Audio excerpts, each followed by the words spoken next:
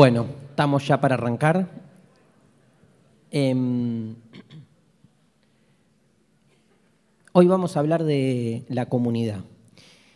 Es eh, uno de los temas que hoy en filosofía tienen como una presencia importante, o sea, están un poco de moda, ¿no? Un tema que está muy discutido, muy trabajado, muy problematizado desde la filosofía.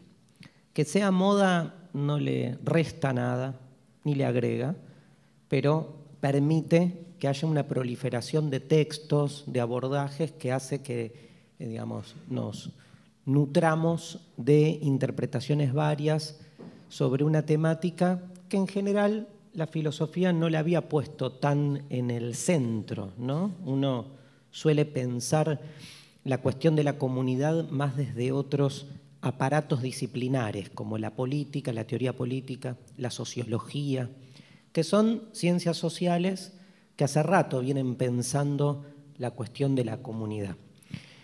Pero la filosofía llega también y llega desde lugares medio inéditos, ¿no? Este, llega como llega siempre la filosofía, este, de costado, con una temática que le es muy propia y que va a este, introducir en el debate sobre la comunidad novedades. Novedades que casi siempre, digo, ya a esta altura, después de por ahí tantas clases de filosofía, ustedes saben, tienen que ver más con el abordaje que con los contenidos. Digo, lo, sorprendente de la filosofía es que por ahí hace un tipo de abordaje que uno no está acostumbrado. No es que tiene una mayor... Em, un mayor acceso a la verdad, porque saben ustedes que para la filosofía la verdad no existe. Con lo cual, lo que propone el abordaje filosófico es como este, desarmar y volver a armar todos los elementos que están ahí explicando un concepto desde lugares diferentes a los usuales. Eso es lo provocativo del abordaje filosófico y más cuando se, digamos, eh, cuando se vuelve, cuando se topa con la cuestión política, que es con lo que uno no está acostumbrado. Digo, cuando la filosofía habla de la política, digamos, tiene problemas, ¿no? Porque en general o termina subsumida por el lenguaje de la política, o no agrega nada nuevo, o pierde, jamás diría su objetividad, pero sí diría su capacidad de asombro y termina muy dogmatizada por, digamos, las necesidades propias de cierta política. Entonces, cuando la filosofía piensa la política de verdad, o sea, en serio, o sea, a fondo, lo que se genera es una sensación de mucha inestabilidad, a tal punto que, digamos, mal haría ir a pedirle a alguien de filosofía que pueda resolver la problemática política. Digo, en esa misma línea en la cual decimos que la filosofía no resuelve problemas, sino que los crea, con la política la cosa se maximiza, porque en general ir a escuchar a alguien que venga de la filosofía a problematizar algo que de por sí ya está problematizado y que nosotros en todo caso vamos a la política a buscar soluciones, es doblemente impactante. Digo, en definitiva, lo que diferencia la filosofía de la política es que uno no le pediría a la política problematizar lo social. Le pide como mínimo soluciones, como máximo transformaciones. Pero cuando la filosofía se dedica a pensar la política, el impacto entonces es doble. ¿Por qué? Digamos, si es una filosofía que se decide ir a fondo y no traicionarse a sí misma, entonces no se va a dogmatizar, no va a defender ningún modelo, sino que va a tomar la cosa política en carne y hueso y la va a hacer explotar, la va a problematizar. ¿Y saben qué? Con la política como con la religión, cada vez menos por suerte, pasa algo muy impactante, que es que no queremos llevar a fondo la problematización. Entonces, cuando la filosofía mete el dedo en ciertas cuestiones que lamentablemente en la política se nos han vuelto sacras, en esa continuidad insólita que hay entre la teología y la política, hay conceptos que se nos han vuelto tan sagrados que cuando la filosofía pone el dedo, en general decidimos obturar, invisibilizar, no profundizar esos abordajes. Todo es cuestionable para la filosofía, incluso aquellos conceptos con los que nos sentimos cómodos. Claro que si nos sentimos cómodos mirando una pared blanca y la filosofía viene a cuestionar que la pared es blanca, no nos molesta demasiado o nos genera una, molesta, una molestia casi infantil. Pero si la filosofía viene a cuestionar la democracia, y molesta un poco más que el que la pared sea blanca. ¿Y saben qué? A la democracia se la puede cuestionar por tantos lados como por los mismos lados con los que se puede cuestionar que una pared es blanca. O sea, todo concepto de la política puede ser deconstruido. El tema es que no queremos. O el tema es que solo queremos que se deconstruyan los conceptos políticos de las ideologías que no son las nuestras.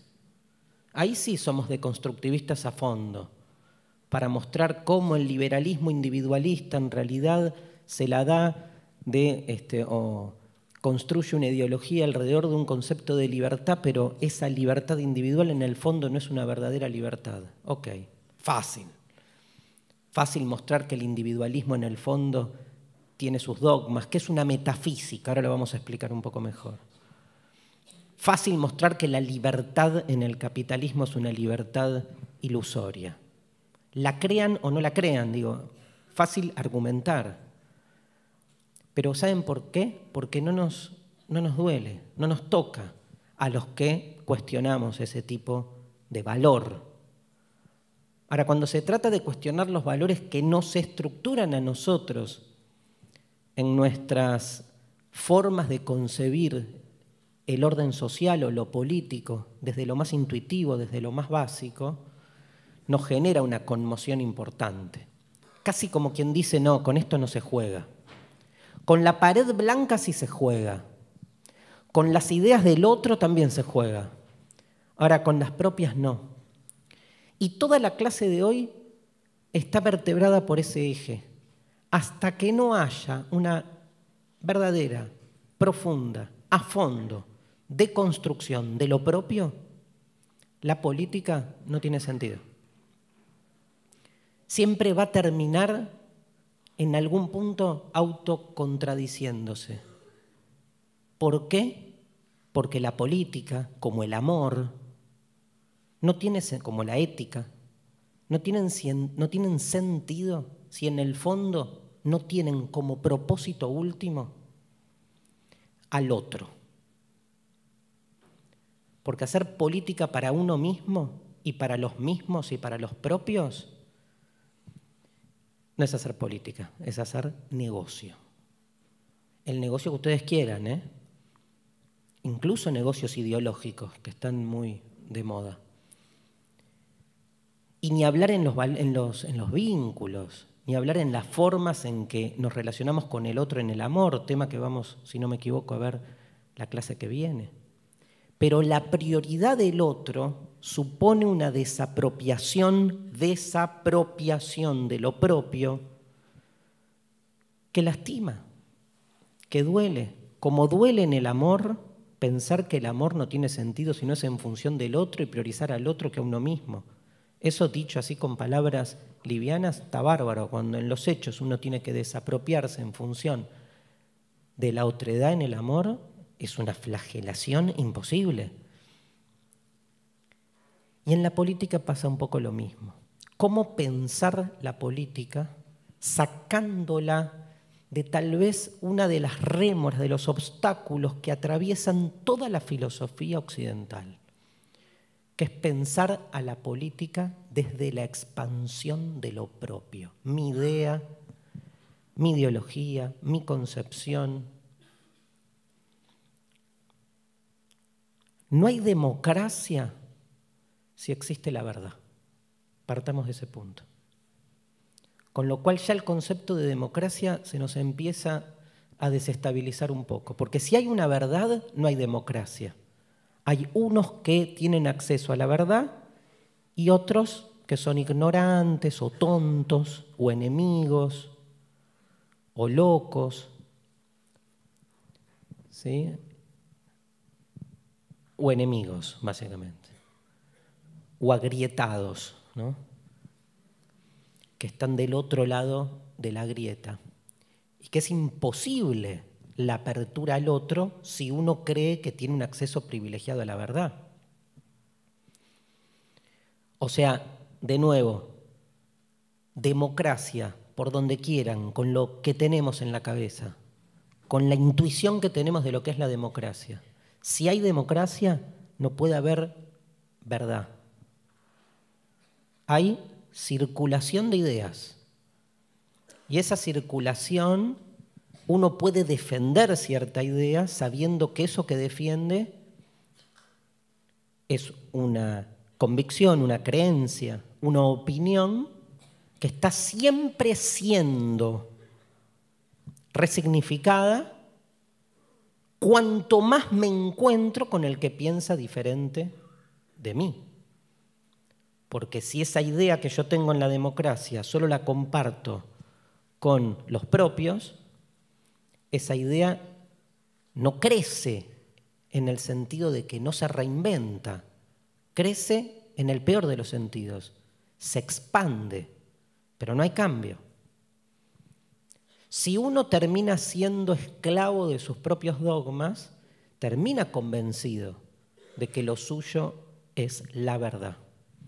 Y el que no piensa como uno se vuelve naturalmente un ser a ser disuelto, en las múltiples maneras en que se disuelve al otro, convenciéndolo, obligándolo o exterminándolo. ¿no? Hay grados ¿no? este, de diferencia. Es muy importante partir de esto, que en filosofía se conoce con el término deconstrucción. La clase de hoy vamos a hacer lo siguiente. Vamos a abordar la cuestión de la comunidad a través de una filosofía bastante compleja. Juro que la voy a hiper allanar porque me parece fundamental entrarle a sus conceptos para repensar la cosa política, que es la tradición de la biopolítica y desde la tradición de la biopolítica, una tradición que comienza con Foucault y que este, hoy en día está estructurada en muchos pensadores, sobre todo un pensador italiano al que yo le voy a dar mucha importancia hoy, que se llama Roberto Espósito, del que traje algunos libros como Inmunitas, Comunitas, comunidad, y un par más, digamos, Roberto Espósito nos propone una relectura de la cuestión de la comunidad desde un lugar completamente anómalo, diferente al que estamos acostumbrados, partiendo de una primera tesis. Ya con lo poco que dijimos, les agrego una primera tesis. Nuestra intuición dice que la comunidad supone el encuentro entre los que tenemos algo en común. Toda la tradición que piensa la comunidad, la piensa desde ese lugar. ¿Qué nos une? Una creencia, una convicción, una ideología, una pasión,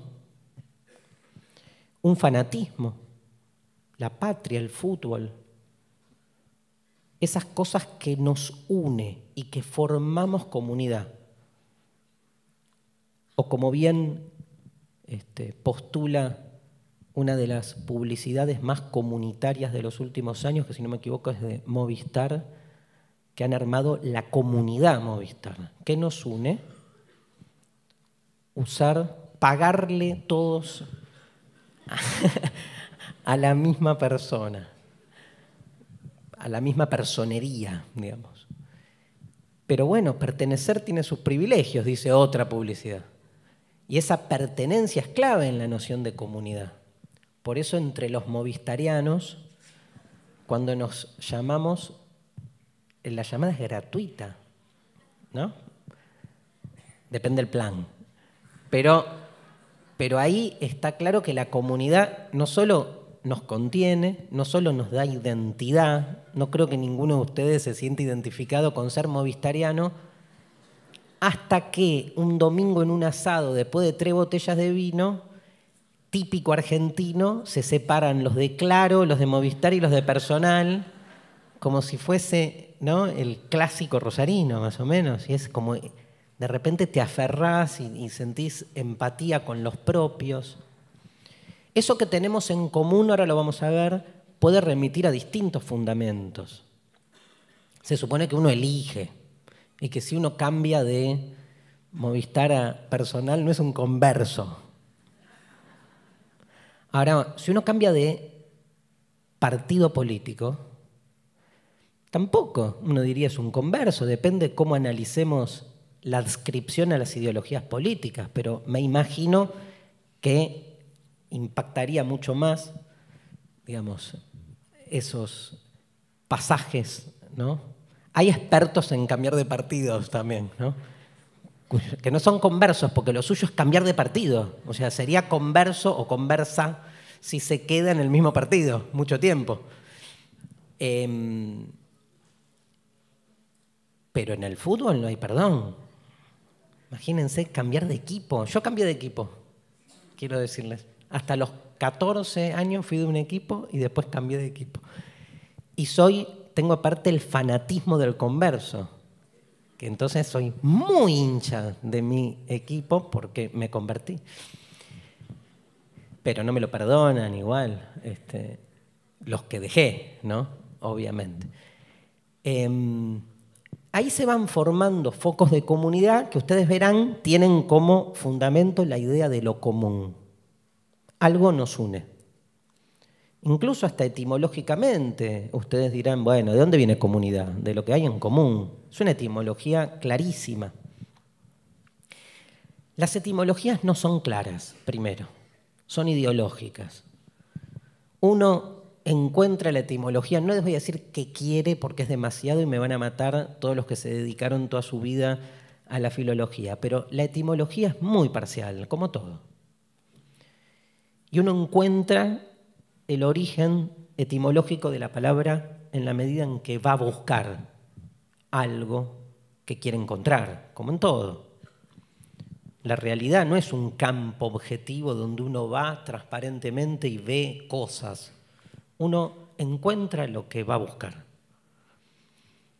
Y con la etimología pasa algo parecido. Lo que, es, lo que hace Espósito, su obra monumental, es una trilogía que es comunidad, comunitas, inmunitas y bios, es encontrar otro origen etimológico de la palabra comunidad, donde, y anticipo acá la tesis, comunidad no viene de lo común, sino de todo lo contrario. En la comunidad no hay una búsqueda de lo que nos une, sino de lo que nos diferencia. Y lo planteo así como primera tesis, qué diferente sería pensar desde la diversidad de lo que somos, la comunidad, no en la búsqueda de lo que nos une en nuestras diferencias, sino en la posibilidad de una convivencia potenciando nuestras diferencias. Porque parecería que si no hay un propósito de ir a lo común, no hay posibilidad de convivencia, como si la convivencia implicara, perdón por el término que voy a usar ahora, pero se va a entender a lo largo de la clase, como si la convivencia implicara desotramiento, o sea, la necesidad de dejar de lado esas singularidades o diferencias que no nos permiten el compartir con el otro. Como que en la comunidad se tiene que potenciar como prioritario lo que se presenta como común a todos los participantes de la comunidad que fuera. Repito, potenciando, privilegiando lo que tenemos en común a lo que tenemos de diferente. Esa es una manera la manera en que se fue construyendo comunidad en nuestra cultura. Pero esa manera esconde paradójicamente un problema, que la ansiedad por buscar lo que nos une disuelve lo que nos diferencia. Y en ese acto de desotramiento pierde lo más rico que tiene el ser humano, que no es lo que hace que todos seamos humanos, sino todo lo contrario, lo que hace que siendo todos humanos seamos al mismo tiempo todos diferentes. ¿Cómo pensar la comunidad desde la diferencia y no desde lo común? ¿Cómo pensar lo propio sin que lo propio se termine digamos, desplegando, taponando lo diferente. Quiero decir, ¿vieron la distinción que hay? La explica muy bien Espósito entre lo propio y lo común. Está el ámbito de lo propio, de lo singular, de lo de cada uno, de lo individual, si quieren llamarlo, y está del otro lado el ámbito de lo común.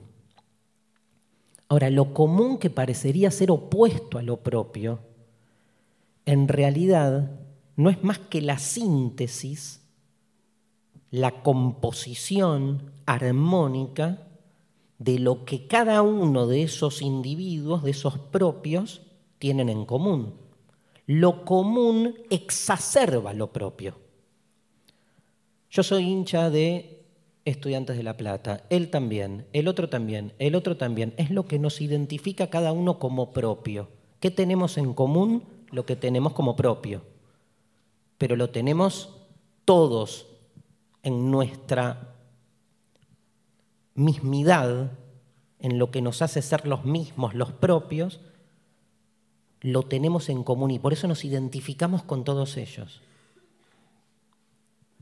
Ahora, lo contrario a lo propio, entonces no es lo común, porque lo común es una continuidad de lo propio, potenciada, expandida. Yo tengo como, ¿qué viene de propio? Propiedad. Yo tengo como propiedad ser argentino. Ustedes también. ¿Qué tenemos en común? Ser argentinos. ¿De dónde surge lo común? De lo que cada uno tiene como propio.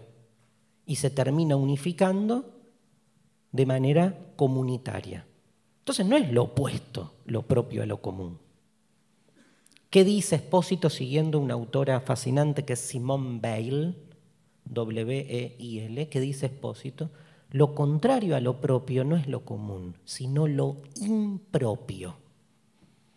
Lo impropio. Eso que está sin estar, porque no es una propiedad, es un basamento, pero inestable. Lo que está por detrás de lo que somos, pero que no lo podemos ni siquiera categorizar, ni caracterizar, porque ya se convertiría en una propiedad. Eso que hace que seamos universalmente todos humanos. Ah, bueno, eso, la humanidad. No, porque cuando decís humanidad la definís. Y cuando la definís, la definís desde una perspectiva.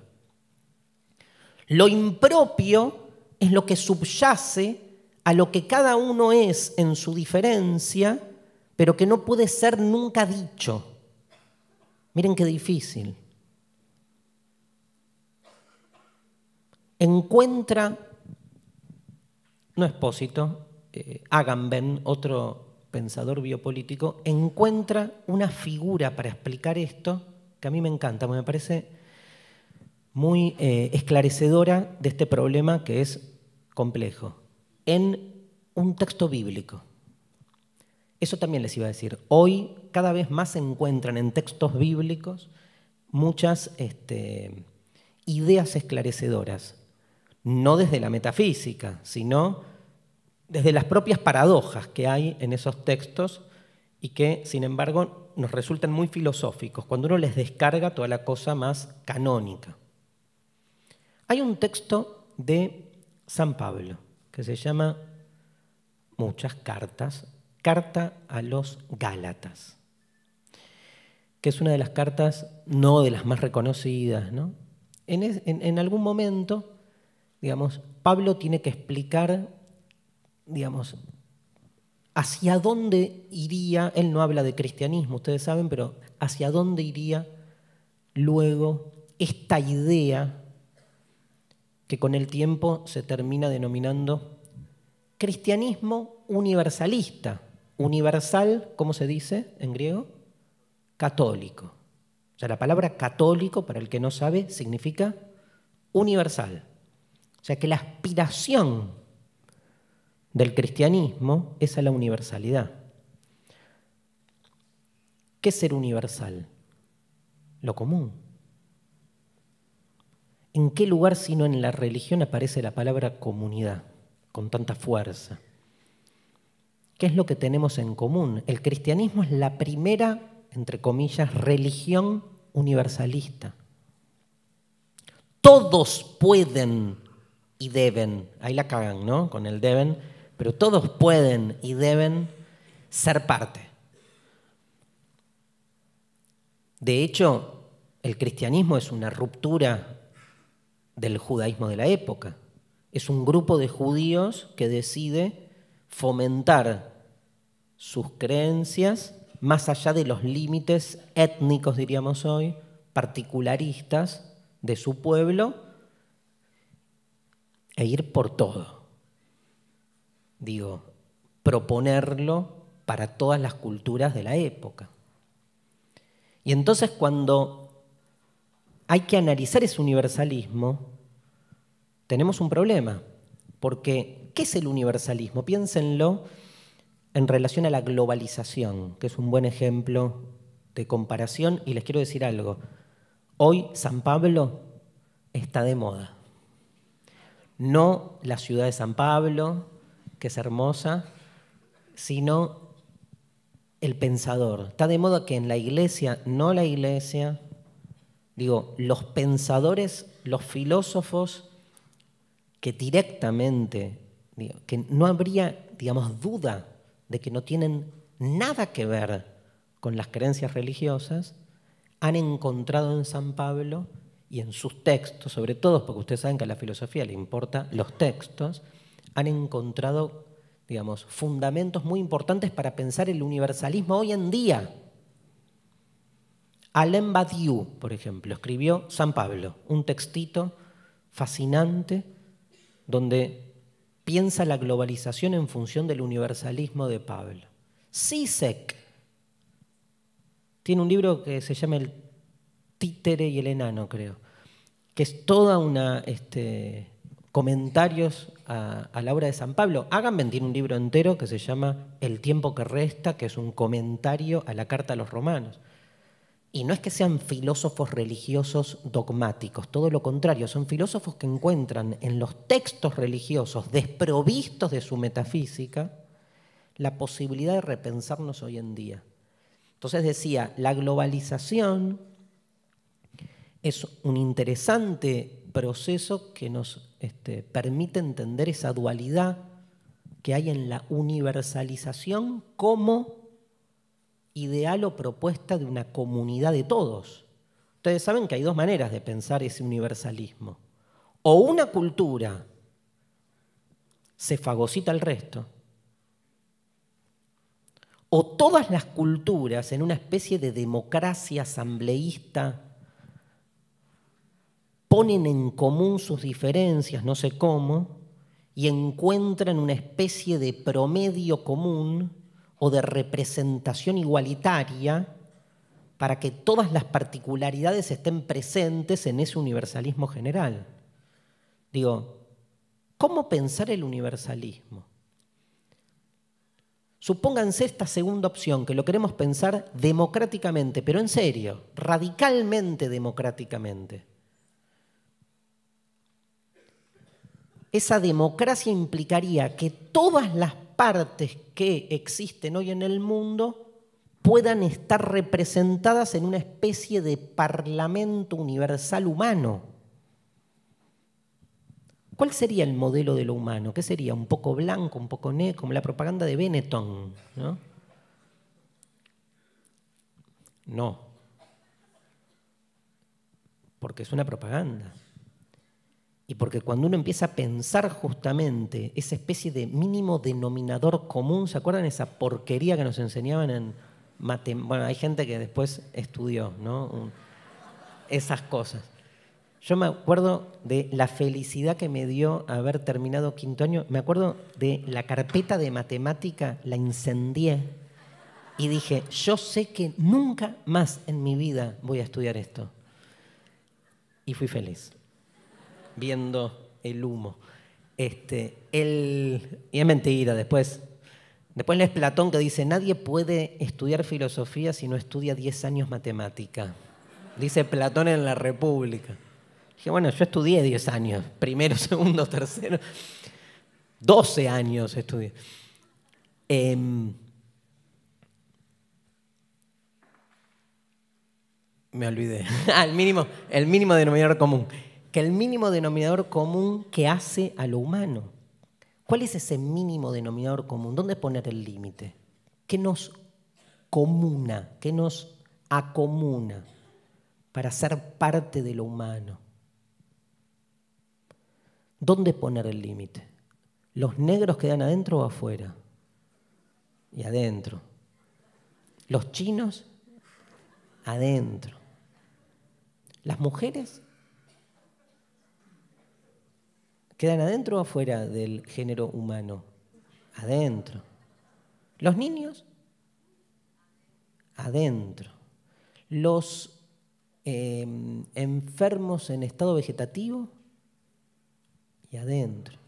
O depende de las necesidades de camas de los hospitales. ¡Epa! ¡Qué perverso! No. Digamos, ¿dónde poner el límite? Bueno, es obvio. No, no es obvio. Los niños no tienen los mismos derechos que los adultos, por ejemplo. Bueno, son niños. ¿Y?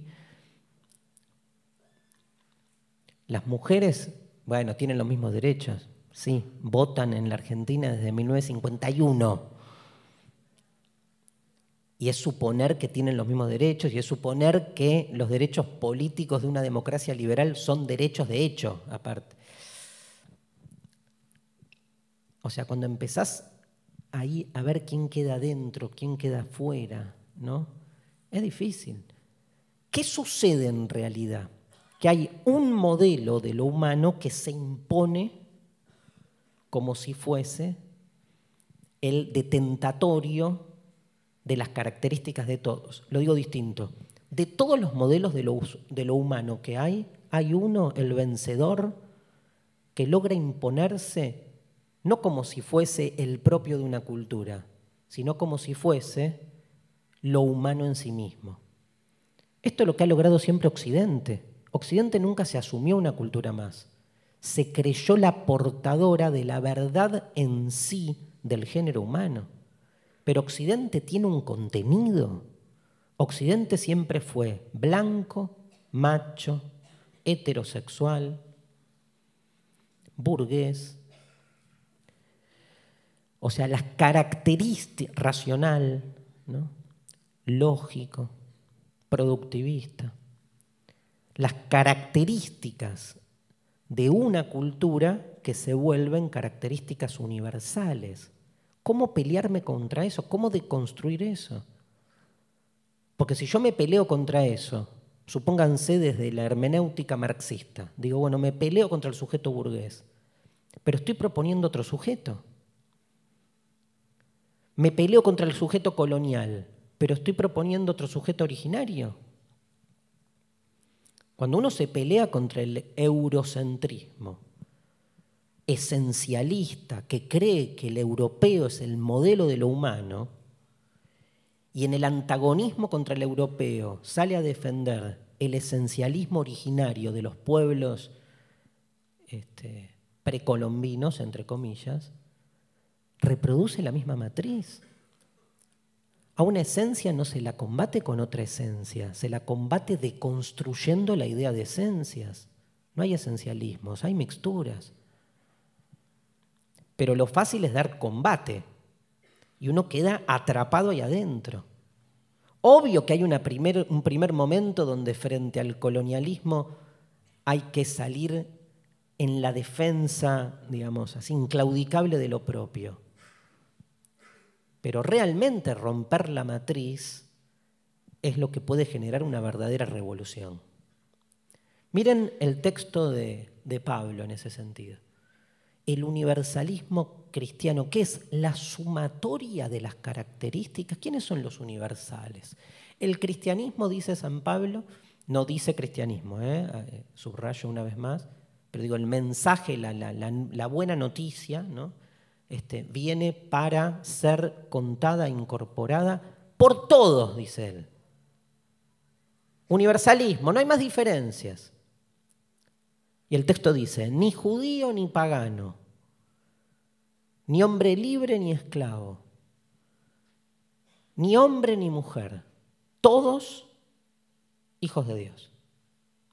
Y uno dice, wow, sumatoria, o sea, todos acceden al reino de Dios. Los judíos, más los paganos, los romanos, más las mujeres, mira qué bien, las minas que no estaban, les dio lugar, más los esclavos. ¡Uh!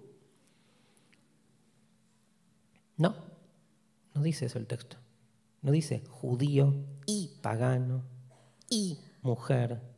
Dice un término que yo tengo devoción.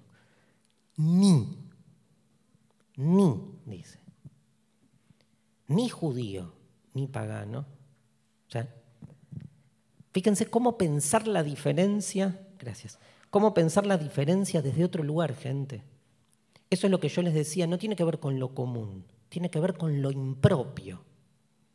Lo impropio significa que lo que nos une en realidad no es algo en concreto, es aquello que hace que no importa que seamos ni judíos, ni paganos, ni hombres, ni mujeres. Todas esas particularidades hacen a lo que somos.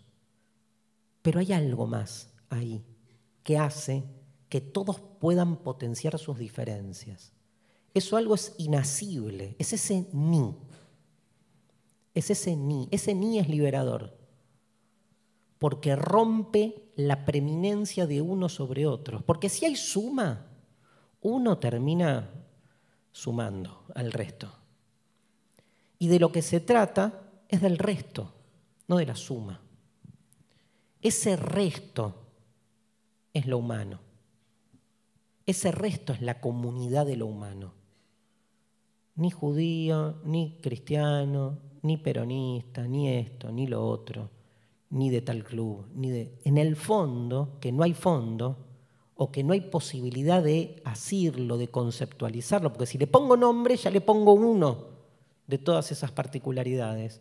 Incluso aunque le ponga el nombre universal, es universal, repito, ya está dotado de toda una serie de características previas. Filosofía del ni para pensar un universalismo diferente, desde lo que nos diferencia, no desde lo que nos une. Es tal vez la mejor manera de darle entrada al otro.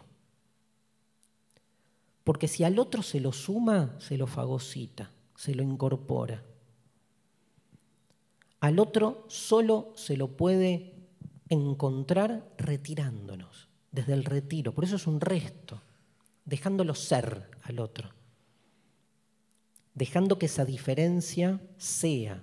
Pasa que cuando uno deja que la diferencia sea, la diferencia irrumpe, duele, provoca, nos genera, digamos, no solo perplejidad, nos genera como desestabilización importante. Necesitamos siempre ser muy celosos de lo propio para relacionarnos con el otro, porque si uno no cuida lo propio, la otredad te invade.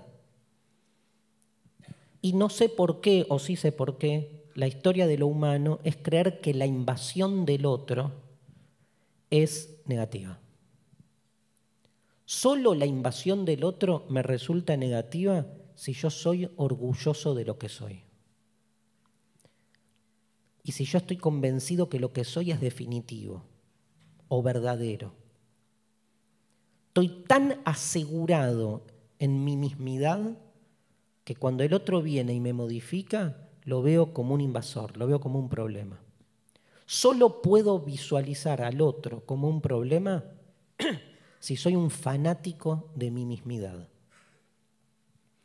Pero si contingentemente supongo que lo humano es constante devenir, que estoy siempre reinventándome a mí mismo a tal punto que esa reinvención puede suponer mi propia negación. Nadie va a sacarme de mí mismo más que el otro. Y entonces en la comunidad necesito convivir con un otro que está todo el tiempo obligándome a mis propios repliegues. Qué difícil, ¿no? Qué difícil pensar ese tipo de convivencia. Deconstruyamos, dice Espósito. ¿Qué es deconstruir? Deconstruir es digamos, cuestionar toda certeza que se precia de estar anclada en una verdad. Mostrar que detrás de toda certeza que se presenta como algo natural, como algo obvio, como algo incuestionable, detrás de toda certeza que se presenta como algo objetivo, propio de las cosas, lo que hay es una construcción histórica, subjetiva, localizada. El término es de Derrida. En realidad, Derrida se lo, eh, se lo roba a Heidegger cuando Heidegger habla de una, no usa deconstrucción, usa destruction, una destrucción de la metafísica, pero cuando Heidegger habla de una destrucción de la metafísica y explica en qué consiste esa destrucción, lo que hace es exponer la idea de la deconstrucción. ¿Cuál es la idea de la deconstrucción? Que todo concepto supone siempre un constructo, una construcción situada, localizada. En términos nietzscheanos diríamos una interpretación. Nietzsche dice en un escrito póstumo, no hay hechos, solo interpretaciones. Si no hay hechos, sino que lo que hay es solo interpretaciones, significa que nosotros podemos todo el tiempo evidenciar el carácter interpretativo de la interpretación. Va de nuevo, si no hay hechos, sino solo interpretaciones, ¿cuál es el problema? No hacernos cargo que lo que decimos es una interpretación. ¿Qué hace en general Occidente? Presenta su propia interpretación, no solo Occidente, ¿qué hace el ser humano? No está todo el tiempo acompañando sus certezas diciendo, para mí el café está tibio. No, está tibio. Está tibio el café. Pero... No, mentira, está caliente. Problemas de interpretación.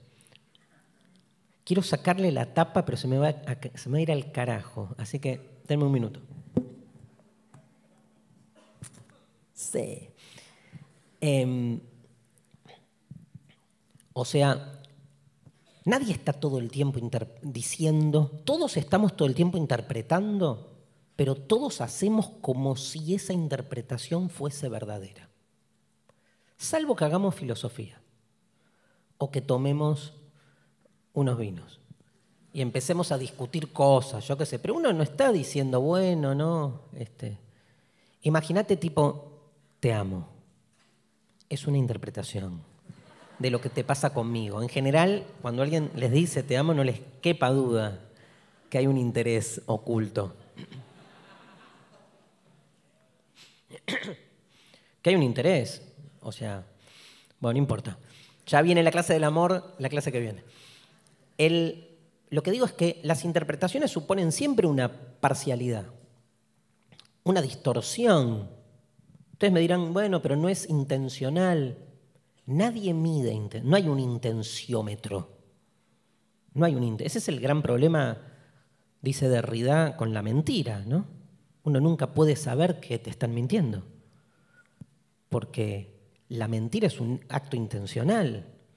Uno puede equivocarse, cuando dice algo y lo dice mal. Ah, bueno, mintió, no, me equivoqué.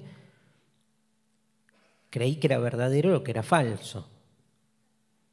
Para mentir, el que miente sabe la verdad, pero no la dice. ¿Y cómo sé que me estás mintiendo? Tengo que meterme en tu voluntad con un mentirómetro y ver que hubo intencionalidad de tergiversar intencionalmente la verdad. Eso es imposible. Hasta el más grande de los mentirosos y el más evidente de los mentirosos es imposible de, digamos, de ponerlo en evidencia. Es imposible de descubrirlo. Y ni les cuento cuando el que miente dice, estoy mintiendo porque lo que dice es verdad o es mentira. y empezás con todo un juego lógico que en filosofía, digamos, estudias esos cinco años, te recibís haciendo todas esas elucubraciones fascinantes. Pero es más problema todavía, doble problema. Entonces, las interpretaciones, lo que uno, de lo que uno parte, es que no hay hechos, sino interpretaciones. Las interpretaciones son siempre abordajes. El problema es que esos abordajes se presentan no con la fuerza de la doxa, se dice en griego, de la opinión, del boceto, de la hipótesis, sino con la fuerza de la verdad. En algunos casos, en la política, en la religión, en el fútbol, digamos, con toda una carga de poder, palabra que vamos a empezar a usar de a poco en esta clase, y en otros casos, casi les diría desde cierta cotidianeidad, o sea, che, está frío el café. No, es una interpretación. Es una interpretación porque la palabra café es una interpretación, la temperatura es una interpretación, che es una interpretación vincular en cómo nos relacionamos con el otro. Anda a Pekín y decís che, y sí, los lenguajes, sí, todo es interpretación. De nuevo, cuando uno hace filosofía, pone todo en suspenso y se da cuenta del carácter hermenéutico o interpretativo de todo. Bien, hagamos filosofía. Eso es la deconstrucción. Entonces, ¿qué dice Espósito sobre todo? Esto lo explica Espósito en un libro que no traje, que se llama Diez conceptos sobre la política. Impresionante. Está reeditado ahora. Es un libro que va a fondo con todos estos conceptos. ¿Qué dice eh, Espósito? Deconstruyamos. Deconstruyamos los conceptos de la política. Hagamos lo mismo que en la deconstrucción se hace con las cosas en general, pero circunscribámoslos a la política. ¿Qué es deconstruir? Voy de nuevo, ¿eh? Es mostrar que detrás de lo que se presenta como una certeza hay una parcialidad.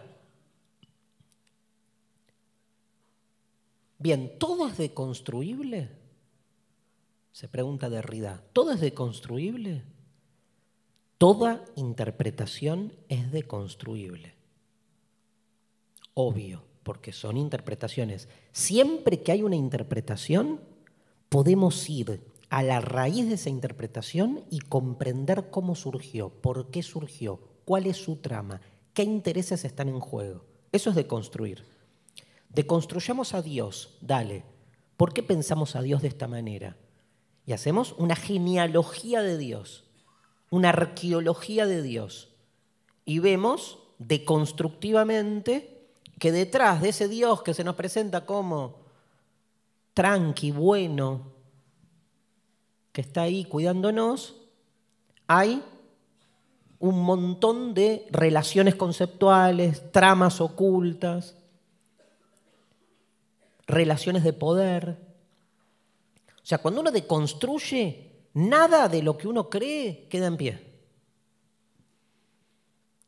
Digo, el, el, el final de la deconstrucción es la angustia. No hay, no hay tranquilidad. Es la angustia existencial. ¿no? Es entender que todos los conceptos en el fondo flaquean.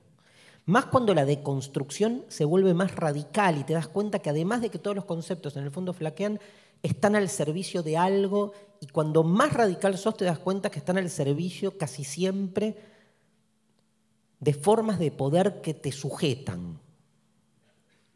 Y en un momento decís, pará, quiero ver la tele.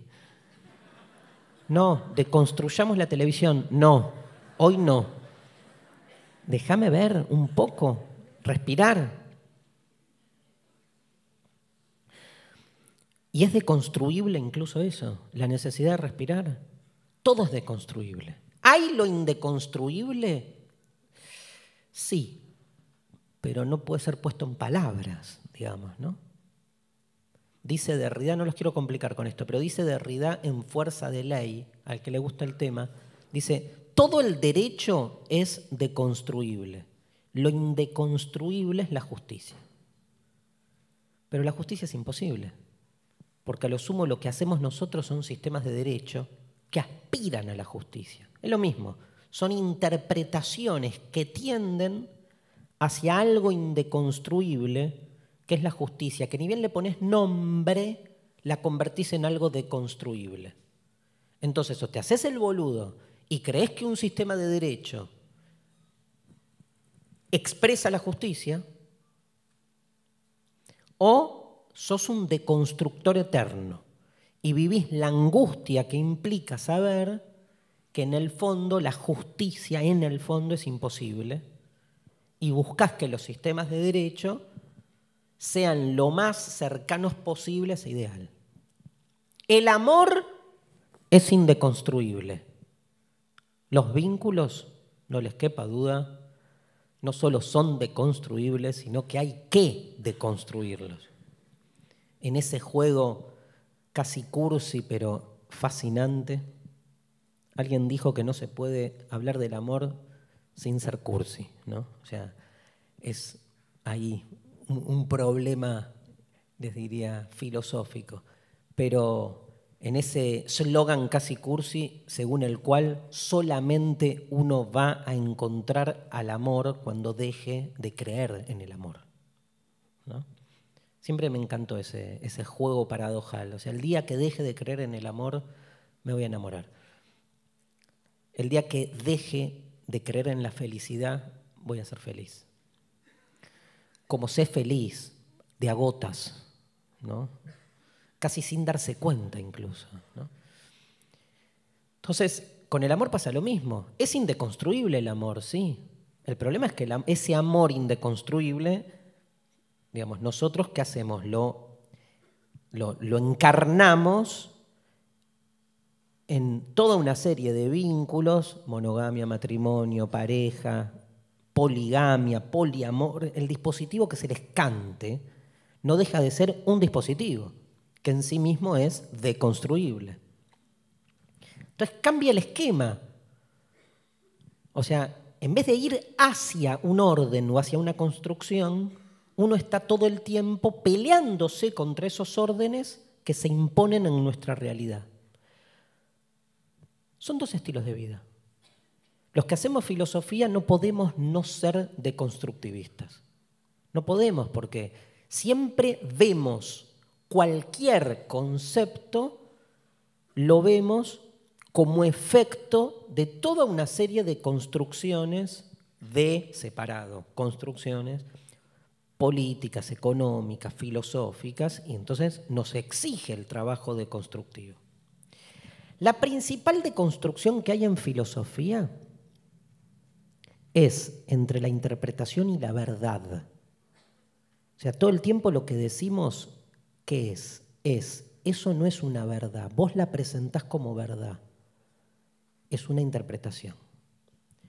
Cuando, ¿sí? ¿Se entiende? Cuando aplicamos la deconstrucción a la política, es el mismo esquema, pero ya no tiene que ver con la verdad, tiene que ver con otro concepto tremendo en política que es el bien. Cuando deconstruimos la política, lo que decimos es, así como en filosofía decimos, eso no es la verdad sino una interpretación, acá lo que estamos haciendo, dice Espósito todo el tiempo, es deconstruyendo la relación entre el poder y el bien. Porque en la política, la búsqueda del poder que es la relación esencial de la política, se hace en general en nombre del bien. Yo creo en un ideal, creo en una ideología, porque creo que esa ideología supone una construcción ética, supone una realidad moral que va a mejorar la vida de la sociedad, la vida de los seres humanos así como mi interpretación en filosofía la postulo como algo que no es interpretación, sino que es una verdad, en política, cuando hago política, oculto, dice Espósito, que el verdadero motivo de la política es el poder. No hay otra cosa en la política que poder.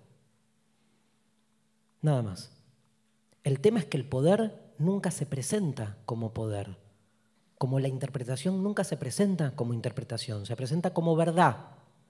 En la política el poder no se presenta como poder, se presenta como el bien, se presenta como la justicia, se presenta como la verdad.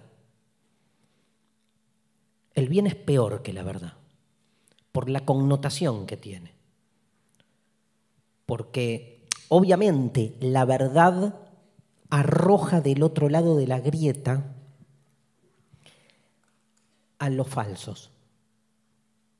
Los falsos pueden ser falsos, vuelvo al esquema de antes, por mentirosos, cosa que no sé, o pueden ser falsos por ignorantes. En la grieta, el falso por ignorante es un ser a ser convertido, yo qué sé, esclarecido. O sea, todavía se sigue creyendo increíblemente que al otro ignorante se lo puede educar, se lo puede formar, se lo puede acercar a la verdad. La connotación es negativa, pero no duele. Ahora, cuando se trata del bien del otro lado, no queda el ignorante, queda el mal. Del otro lado de la grieta, para los que creen que su concepción de la política los eh, encuentra con el bien, del otro lado, el que piensa diferente en términos ideológicos políticos no es alguien que se equivoca, es el enemigo. Con la carga que implica en la enemistad la ética. O sea, es el mal. El que queda del otro lado es el mal. Y al mal no hay con qué darle. Se lo combate. Y entonces, digamos, la, la forma en que el poder termina construyendo su fuerza en relación al bien, obtura la posibilidad, niega la posibilidad de la existencia de la diferencia. Cuanto más el poder se asocia con el bien, menos lugar hay para el otro. Porque toda otredad va a cargar absolutamente con la eh, característica de ser eh, el enemigo, de ser el mal de una manera definitiva. ¿Cómo salir de este esquema? Deconstruyendo. ¿Cuál es la principal deconstrucción? Una es asumir que la política no habla de otra cosa que no sea del poder y que no le interesa otra cosa que no sea el poder. Digo, asumir que no hay otra cosa que no sea el poder, algo que parece pragmático o realista, en realidad es al revés, porque es como en filosofía asumir que todo es interpretación. Entonces, si yo asumo que todo es poder, no es que estoy bancando que sea así la política. Lo que estoy es empezando a pelearme contra todos aquellos que cuando hacen política no asumen que lo hacen por poder, sino que dicen que lo hacen en nombre del bien. Y así como Sócrates se pelea en su momento contra aquellos que, digamos, este, contra ese poder ateniense que habla en nombre de la verdad, con un argumento demoledor. Sócrates dice, si hay una verdad, no está en este mundo. Por lo tanto, lo único que sé es que si la verdad no está en este mundo, él, él y él que hablan en nombre de la verdad, nos están sometiendo. Del mismo modo, en la política, cada vez que uno se encuentra con que el poder se enfunda o se presenta en nombre del bien, la tarea es desenmascararlo. ¿Cómo lo desenmascarás? Mostrando que en el fondo no hay otra cosa que poder. Y que cuanto más te presentás como munido por el aura de la búsqueda del bien absoluto, más desconfía más desconfía. El bien y el mal suponen una distinción muy ambigua, muy ambigua. La misma distinción ambigua que hay entre lo correcto y lo incorrecto, lo legal y lo ilegal, o lo normal y lo anormal. El bien creo que lo expliqué en otra clase esto. El bien se ejerce siempre contra el mal. El bien no tiene otro propósito que luchar contra el mal. Por lo tanto, por lo tanto, el bien da esa batalla que nunca puede ser final. Porque el día que el bien termine de vencer al mal, queda sin propósito. Lo peor que le puede pasar al bien es no tener contra quién pelear. Porque la naturaleza del bien, de los buenos, ¿eh? de los políticos buenos, de los periodistas buenos, de los futbolistas buenos, de los familiares buenos, es diferenciarse del mal. Para diferenciarse del mal, para diferenciarme del mal necesito que haya mal. Por lo tanto, siempre voy a generar la siempre voy a generar el dispositivo que posibilite que el mal siga existiendo. Mi batalla tiene algo de perversa, porque mientras más peleo contra el mal, al mismo tiempo sé que no puedo terminar de ganarle. Y que si finalmente le gano, lo hago porque ya encontré otro mal a quien combatir. En definitiva, el mal termina siendo, aunque parezca lo contrario, de eso se trata, una construcción del bien. Porque ¿qué define estar del lado del bien o del lado del mal? Así empieza Nietzsche, el anticristo. ¿Qué define estar de un lado o de otro? ¿Qué nos hace buenos o malos? La filosofía lo presenta como que hay parámetros, normas que determinan lo bueno y lo malo, los diez mandamientos, este, el imperativo categórico. Nietzsche dice, no, es muy simple, los buenos somos siempre nosotros. Y los malos son siempre ellos. Esa es la única distinción. Después vas a adornar el bien con todos los argumentos que quieran. Hay una famosa frase de Spinoza. Spinoza dice, no queremos, eh, no, no deseamos, no queremos, no deseamos algo porque sea bueno. Es bueno porque lo deseamos.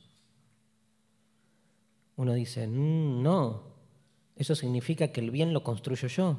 Claro, de eso se trata. No deseo algo porque sea bueno. Voy a encontrar todos los justificativos necesarios para argumentar que aquello que deseo es el bien. Al final, lo que deseo, lo que me importa a mí, lo propio, lo que me expande, lo que gano, lo que hace a mi conveniencia, siempre va a ser el bien. Esa es la clave de la política. O sea, mi ideología siempre es el bien. Yo siempre voté a los buenos. Gané, perdí. Pero parto de esa. Eh, adhesión o de esa, eh, ese maridaje entre el poder y el bien. Entonces, el bien siempre está construyendo al mal. Les pregunto, ¿no es la peor de la maldad?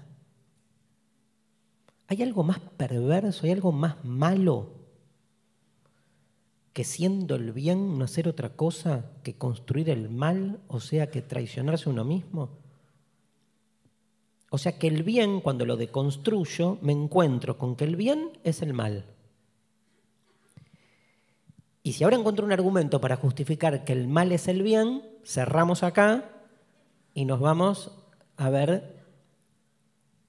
Tinelli no, diez y media empieza. Intratables que empieza nueve menos cuarto.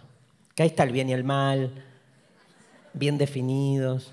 Nunca tiene que ganar uno ni otro. Hay días que gana uno. Todo, todo está presupuesto, ¿no? Que es lo que más impacta, lo que más nos, nos convence, lo que más nos entretiene en la espectacularización de la política. Hay un argumento simple. El bien es el mal. ¿El mal es el bien?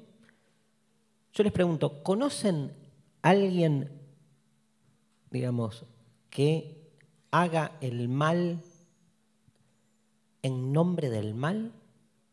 ¿O los que hacen el mal siempre creen que lo hacen en nombre del bien. Yo no conozco. Estuve revisando después de ver este argumento, tipo los malos de la historia, ¿no? Tipo Hitler, Videla. Siempre es el listadito Hitler, Videla. Y el tercero, no sé, depende de cada uno.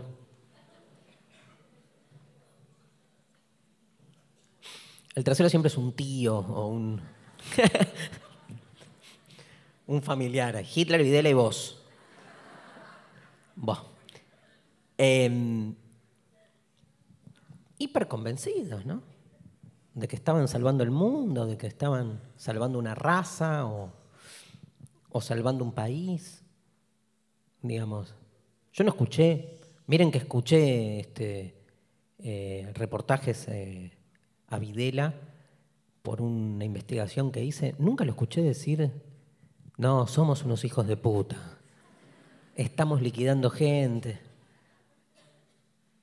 Estamos sanando, decía. Usaba metáforas biopolíticas todo el tiempo. Estamos sanando este país. O sea, a, un virus que se lo hace, se lo extermina. No estoy haciendo el mal, estoy haciendo el bien.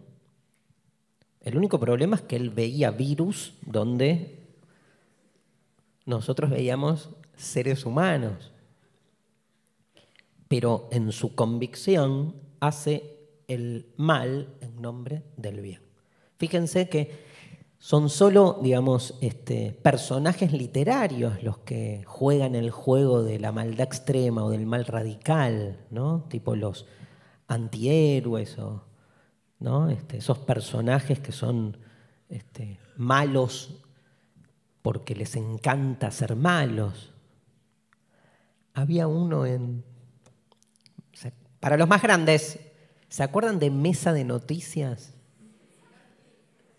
Gianni Lunaday hacía un personaje que decía, soy malo y me gusta hacerlo. Pero incluso, soy malo y me gusta hacerlo, decía. Y era un hijo de puta. Pero incluso, ser malo y me gusta hacerlo supone un bien. ¿Por qué él lo hacía? Porque le gustaba ser malo.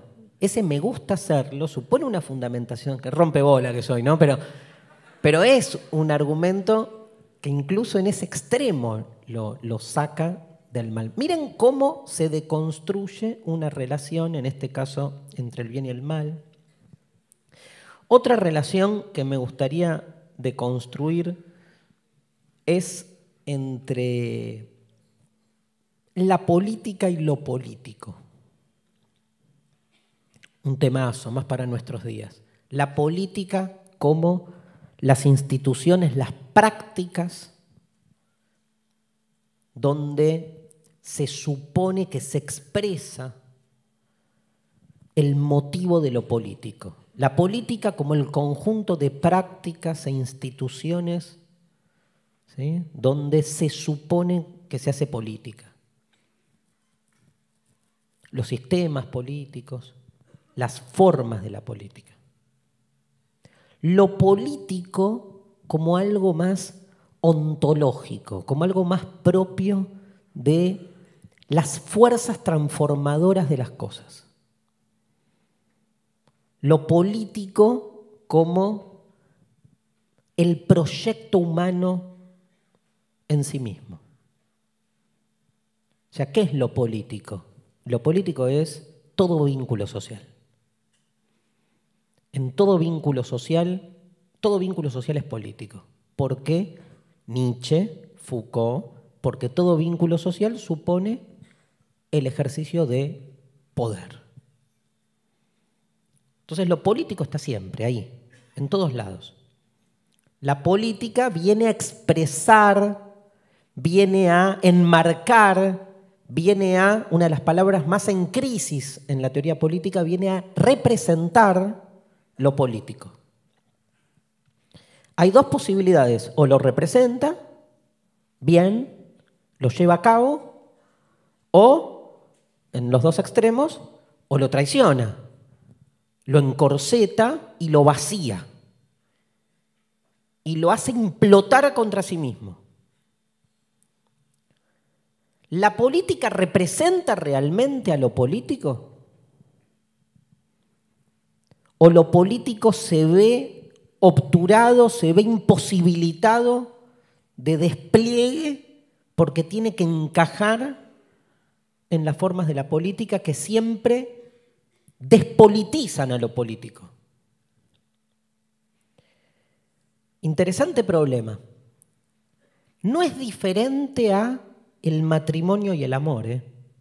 Sería la misma matriz. Y darle con con el amor. Pero el matrimonio y el amor es lo mismo. El matrimonio expresa, es una institución, como la política.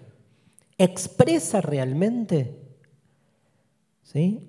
todo lo que el amor implica como temple, como estado de ánimo, o lo domestica. Y en esa domesticación lo disuelve. Tenés las dos, los dos extremos, en el medio estamos todos. ahí viendo qué hacer con un extremo, otro extremo, yendo, viniendo. Lo mismo, esto para el segundo cuatrimestre, lo mismo que la religión y lo religioso. Lo religioso está presente en todo lo que hacemos, en las creencias, en las dudas, en las preguntas por si hay algo más. La religión, la institución religiosa, los curas, los rabinos, los, todos sus dogmas, sus cánones, ¿expresan realmente sus textos ese espíritu religioso o lo, o lo aprovechan? Lo aprovechan y lo comercializan y se aprovechan de esas búsquedas existenciales. De nuevo, igual no es tan simple. Uno con la iglesia parece más fácil decir, eh, sí, se aprovechan de este. Está bien, pero los textos que hacen al canon religioso son esos textos, de nuevo, no se trata de negar un costado o el otro. Cuando se deconstruye se ve lo paradojal. Lo religioso no es lo mismo que la religión, está claro. Y está claro que la religión obtura lo religioso, está bien. Pero la religión tiene una serie de textos que uno puede deconstruir y volverlos para el otro lado. Digo, para no irme de tema, con la política y lo político pasa lo mismo. Está claro que la política en algún punto encorseta lo político. Pero lo político para emanciparse busca muchas de las formas presentes en la política. Y doy el ejemplo. La política, esto me parece que es el mejor ejemplo que explica todo lo que venimos diciendo. La política tradicional está en crisis. En una crisis fuerte de representación que se expresa sobre todo en lo que acabamos de decir, en la, en, la escisión que se da entre la política como institución y lo político como fuerza transformadora.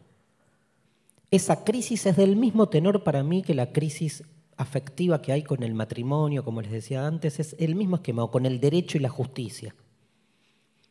Es muy propio de nuestro mundo. Las instituciones son siempre conservadoras frente a fuerzas que son siempre transgresoras. Se da esa oscilación.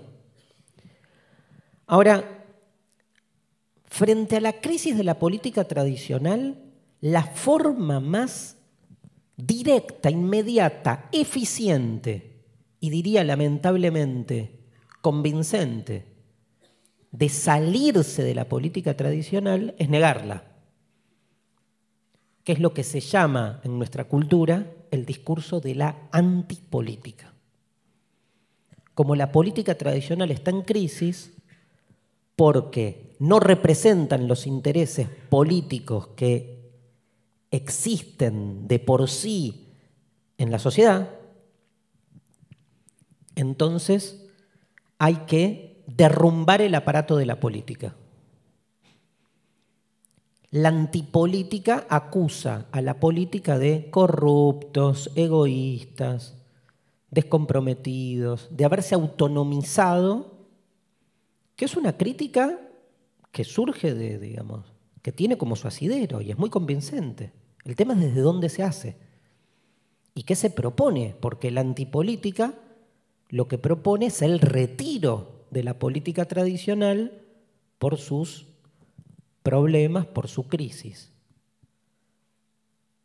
Retirada. ¿Qué queda?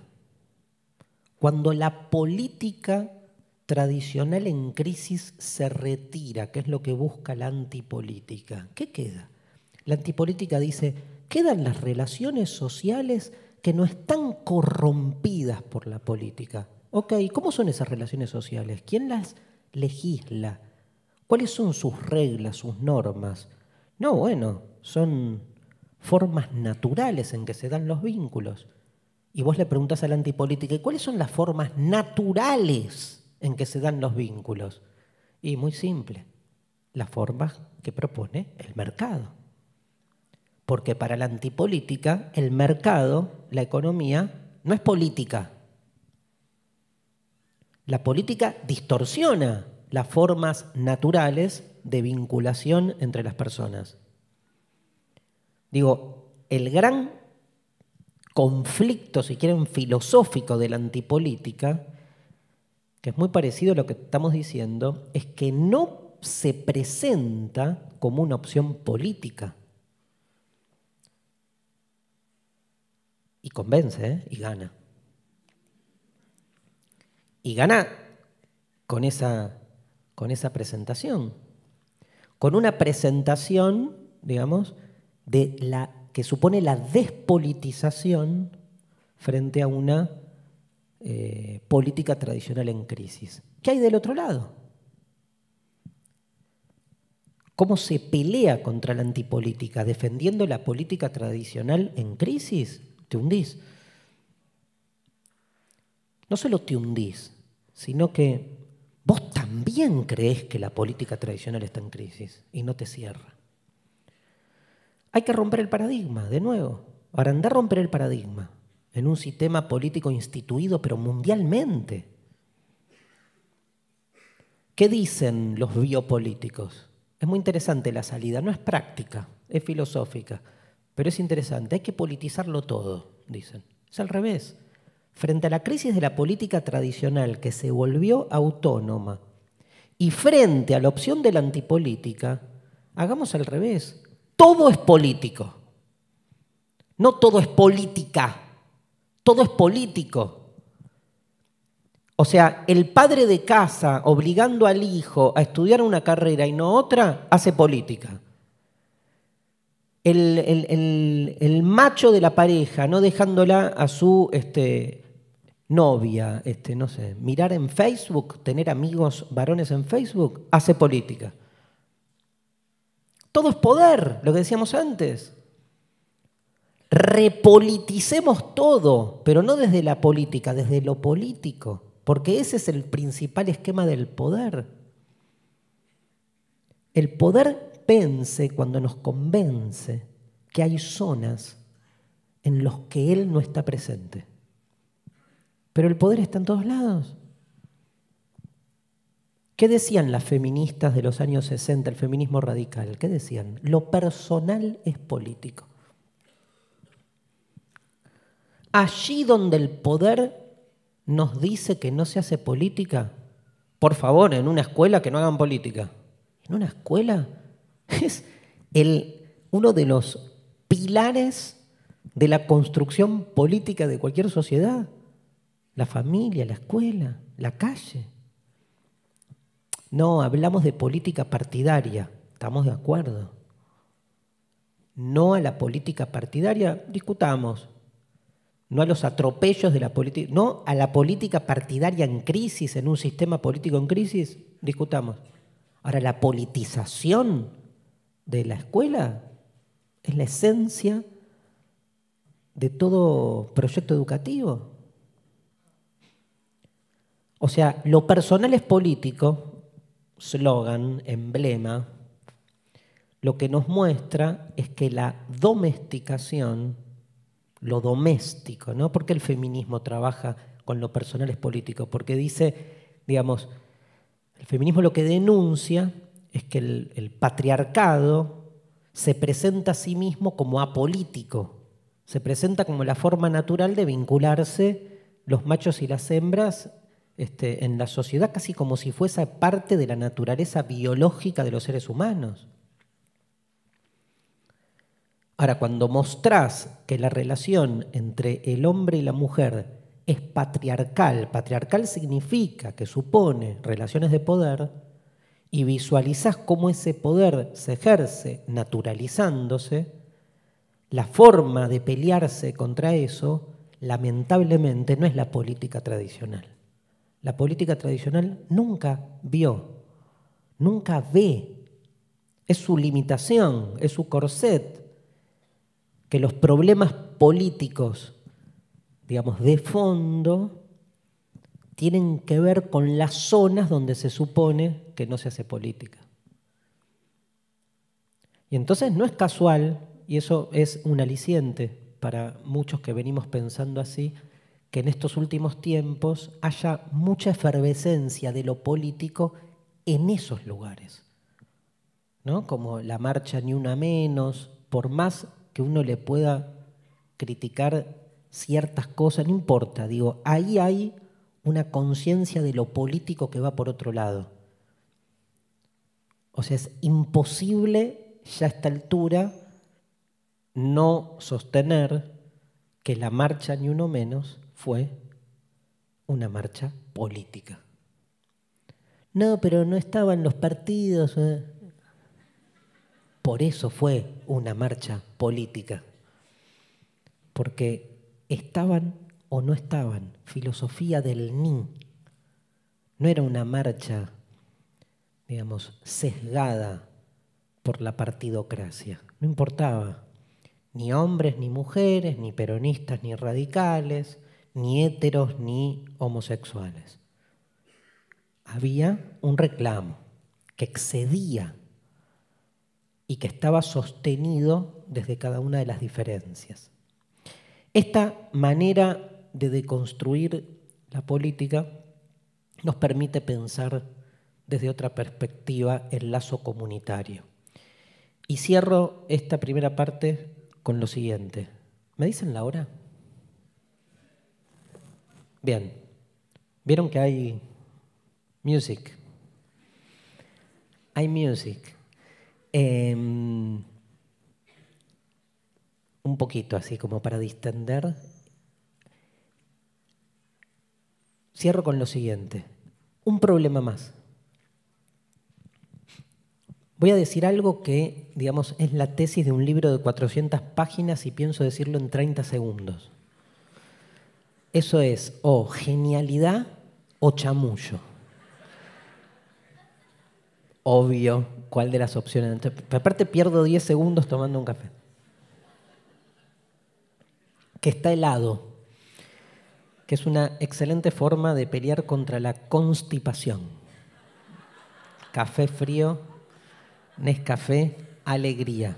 Ahí para, para buscar sponsors después para los chicos. Em, incluso está planteado al revés la cuestión de la política, la cuestión comunitaria. ¿Qué es?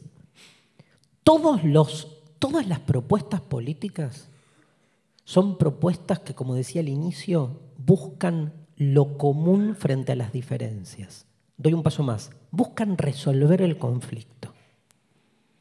En la Argentina escuchamos mucho, escúchenme ustedes como quieran esto, ¿eh? Pero en la Argentina escuchamos mucho en los últimos años este tipo de digamos, eh, comentario, que es, tenemos que ir todos para el mismo lado, tenemos que unirnos. Las diferencias no pueden generarnos conflicto. Tenemos que dejar, esta es la, más, a mí, la más peligrosa, tenemos que dejar de lado las diferencias para ir por un proyecto común.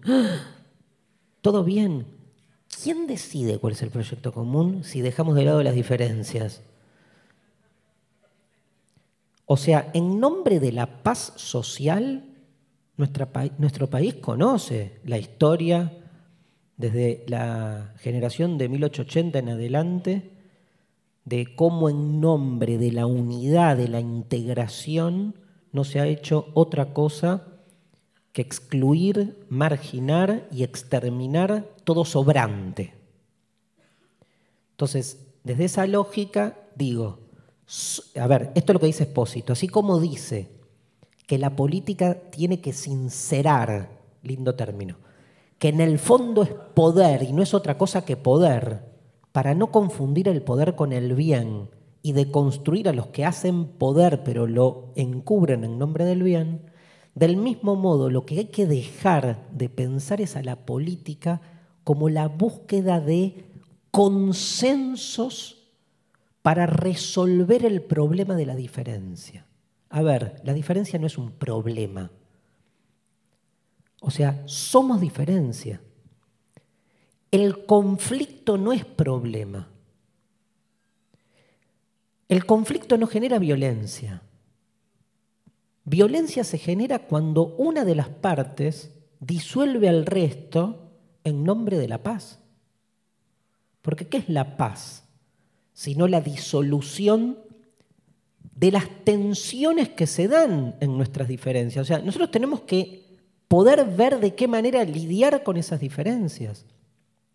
Bueno, Darío, Espósito, biopolíticos, lo que quieras, pero hasta ahora, digamos, ¿Cómo se hace para lidiar con las diferencias y las diferencias a veces son tan extremas que imposibilitan? Vale, peor es que uno diga que resuelve el problema de la diferencia y baje un modelo que destruye a los demás.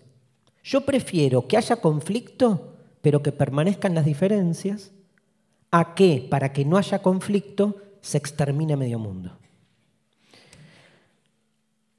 Paro acá. Hacemos una pausa. Los chicos van, les cuento esto, el 18 de junio, o sea, en 10 días, vuelve desencajados filosofía y música a este teatro. La gente de la Facultad Libre va a sortear cinco entradas, no, cinco dos por uno. Es como un sorteo, pero un dos por uno, garpa. Tienen que tener con quién venir. No es una obra que se aconseja venir con su pareja. Yo he posta, ¿eh? he tenido gente que después de desencajados salieron y se divorciaron, pero felices. Fueron a festejar, tipo, che, nos divorciamos. Y me pasó una al revés, digo, por si alguno tiene esta, son cosas que no llegan a Facebook. Este, una persona que nos escribió diciendo que se había separado después de 10 años juntos, hacía un año y medio, y que habían decidido volverse por primera vez a juntar y lo hicieron viniendo a ver desencajados. Y ahora están juntos. Ojo, o sea, es para recuperar algún boludo que los dejó en su momento. Bueno, hacemos el corte.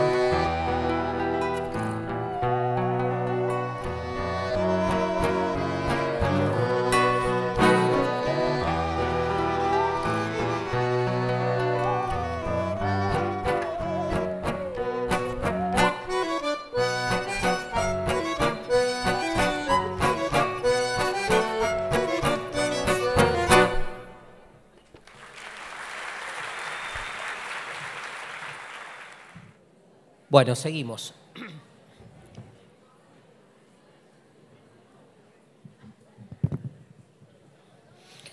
La, mm,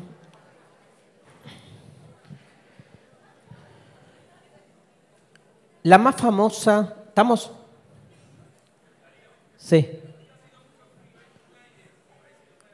Está haciendo mucho frío. ¿Hay, ¿Hay un aire acondicionado? No, es el frío.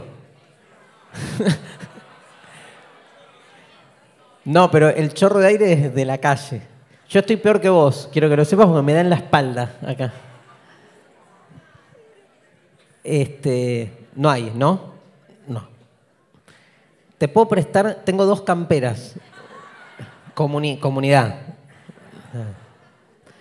Em, bueno, una pena. Hay una famosa distinción que hoy está como bastante remanida, pero que nos va a servir mucho para empezar esta segunda parte, que es la diferencia entre comunidad y sociedad. Sociedad y comunidad es una diferencia de un, digamos, que se la debe a, este, eh, nada, que en la sociología se viene trabajando hace rato a partir de Ferdinand de Tonís, digamos, y que hoy está bastante, como les decía, problematizada, pero nos sirve propedéuticamente para poder diferenciar cuál sería el elemento comunitario que distinga a la comunidad de una sociedad. Siempre hablamos así de manera llana de sociedad y comunidad como si fuese, digamos, lo mismo, o sea, eh, salvo que la pensemos, como decíamos en la primera parte, salvo que nos dediquemos a pensar la diferencia que hay entre ambas. Les hago una pregunta rápida, es a, votar, a mano alzada. La pregunta es, ¿la Argentina es una sociedad o una comunidad?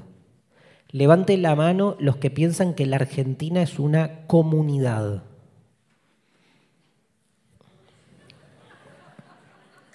Cuatro. Cinco. Levante la mano los que piensan que la Argentina es una sociedad. Mayoría absoluta. Bueno, el resto piensan que la Argentina no es directamente. no es. Ni. Tienen el ni. Ni una ni otra. Eh, ¿Por qué no es una comunidad? Porque lo que no encontramos, salvo los cinco creyentes este, utópicos, pero lo que no encontraríamos a priori, busco traducir el voto ¿no? de ustedes, es un elemento en común que de alguna manera tenga mayor entidad que la mera relación entre los individuos que conviven en este territorio nacional llamado la Argentina. O sea, esa distinción entre sociedad y comunidad supone que la sociedad es más bien un conjunto de individuos cuyo vínculo no remite a ninguna instancia superior, ni esencial, ni trascendente. El que nos hace ser parte de la Argentina es casi una casualidad. Incluso convivimos diferentes culturas, ni hablar a nivel regional, territorial. Incluso todos sabemos que los estados nacionales modernos son fruto del más puro artificio.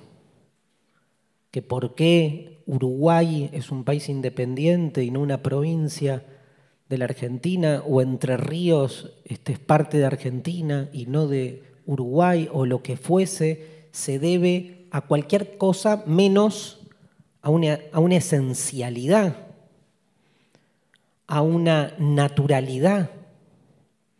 Incluso el concepto de frontera natural está absolutamente cuestionado, que es el, el, argumento más rápido que sacan los que buscan defender que hay una unidad en la circunscripción que generan las fronteras naturales, pero las fronteras naturales, digo, ¿cuáles son? ¿Cuál es su legitimidad? La cordillera de los Andes, bueno, es natural que de un lado quede un país y del otro lado el otro, cuando en Estados Unidos la cordillera está en el medio y no distingue dos países o un río. Después cuando uno define lo que es territorialmente un Estado-nación, sí, yo que se encuentra en la frontera natural un límite, pero la construcción es posterior, es ex post facto. Incluso si quieren, los mapuches, por ejemplo, según tengo entendido, poblaban, pueblan, pero en, en otra época, cuando cuantitativamente eran más, poblaban la cordillera de los Andes de manera circular. Con lo cual, frontera natural geométrica, las pelotas porque ahí estaban partidos en dos. Haber quedado del lado de Chile o de Argentina era casi una interrupción violenta a una lógica que no era la lógica geométrica occidental. Entonces, digamos, son todas evidencias a favor de que en realidad lo que hay cuando hablamos de la Argentina es un orden social donde la palabra orden es fundamental, porque lo que ordena son las relaciones sociales, las relaciones entre los diferentes protagonistas. El tema es quién es el protagonista.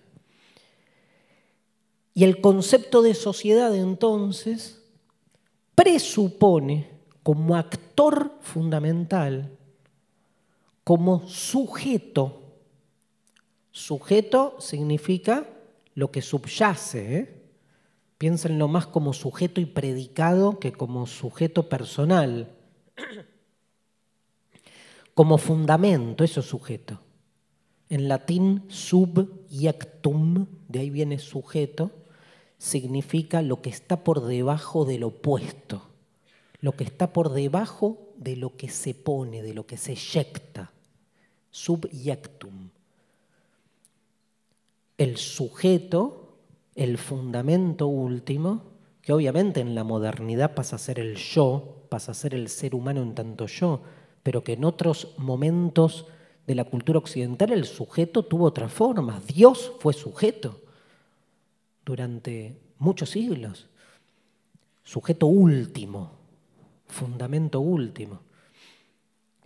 En la sociedad el sujeto es el individuo.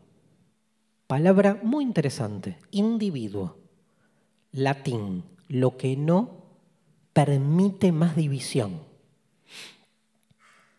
Por eso es sujeto último, es fundamento último. Llegamos a un elemento último, o sea, primero que me explica desde él la constitución de todo, del todo social. En el fondo lo que hay es individuos y esos individuos, a ver si se entienden, son absolutos. O sea, el individuo es un absoluto, nada tiene primero no, no está más descompuesto en nada, pero por sobre todas las cosas es el sujeto, el individuo, de todos los derechos de cualquier sociedad. Individuo significa que puedo descomponer la realidad, los estados, los países, la ciudadanía, este, lo que quieran, ¿no? las religiones, los grupos étnicos, pero en el fondo el principio ordenador de la realidad social es el individuo. Y ese individuo es el todo. Miren qué loco, el todo, que se supone que es la suma de todos los individuos, es en este caso el individuo en sí mismo. A partir del individuo construimos después relaciones. ¿Saben cómo se dice individuo en griego?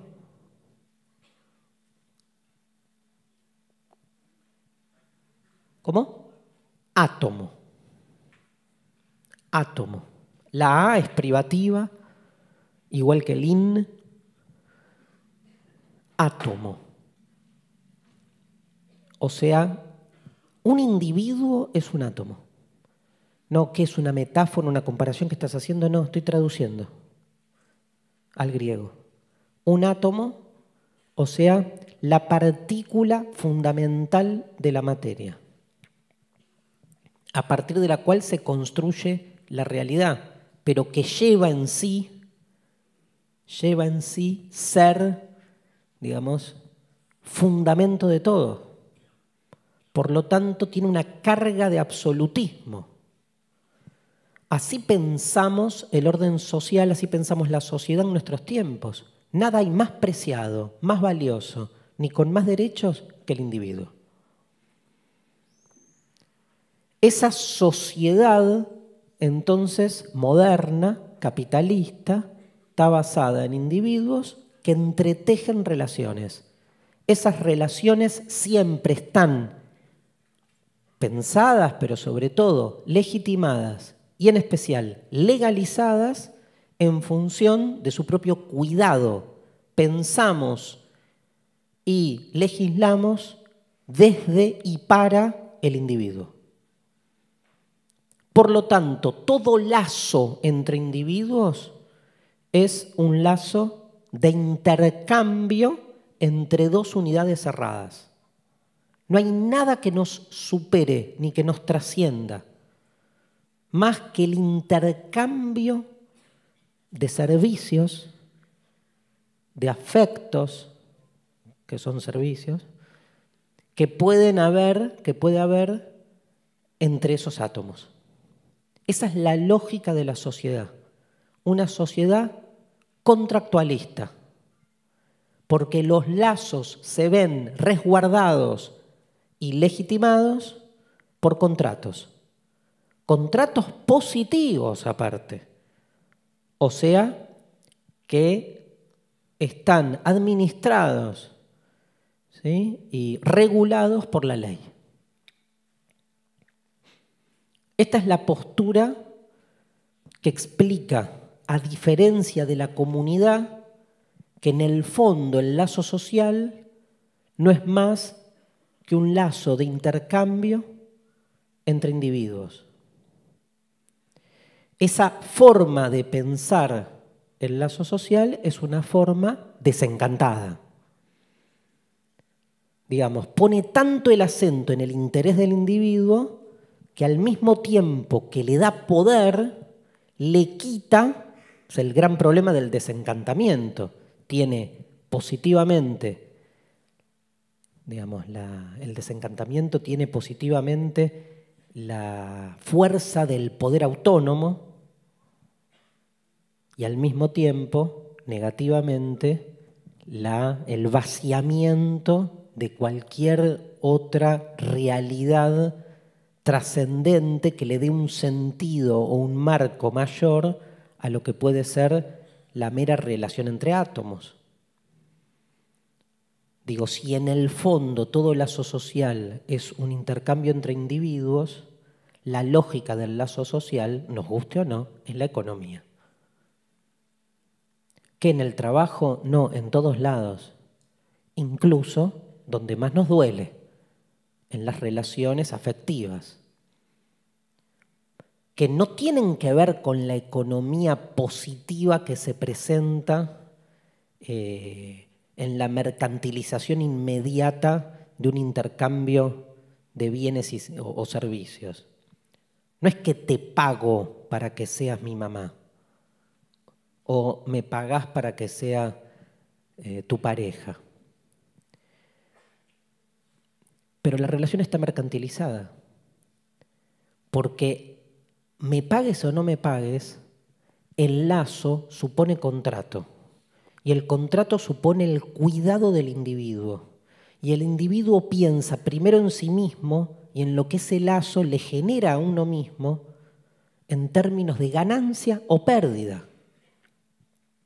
No, pero estamos hablando de ganar felicidad, no es lo mismo. ¿Por qué no? Digo, no es gratuito, no es gratuita la matriz conceptual que está presente ahí. Cuando pensamos nuestros lazos vinculares en términos de ganancia, no, esta persona me reconviene. ¿Vieron que uno lo dice? Me reconviene. Convenir es digamos, el verbo que mejor expresa que uno está pensando siempre, obviamente, en su propio desarrollo. Cualquiera de ustedes me dirá, ¿y por qué tengo que pensar, no tengo que pensar tanto en mí? Bueno, ese es el eje de toda la clase. Porque se supone que uno no es solo y que uno no es por uno mismo y que uno es con otros y que los otros hacen que uno sea quien es. Y si quieren al final, es una decisión. Peor, una sensibilidad, les diría. ¿Sí? O estoy primero yo o está primero el otro. Ahí ya casi ni hay razonabilidad. Es, les diría, diría Heidegger, una disposicionalidad emocional, afectiva, es una manera de relacionarse con las cosas. Lo que está claro es que nuestra cultura siempre priorizó la mismidad, lo propio, el yo, y siempre postergó al otro o lo constituyó en una parte del yo, en, una, eh, en un medio para que el yo se expanda en alimento para que el yo crezca, en un bien cosificado que hace que el yo pueda expandirse o crecer. Mira, tengo un grupo de amigos que me hacen mejorar día a día.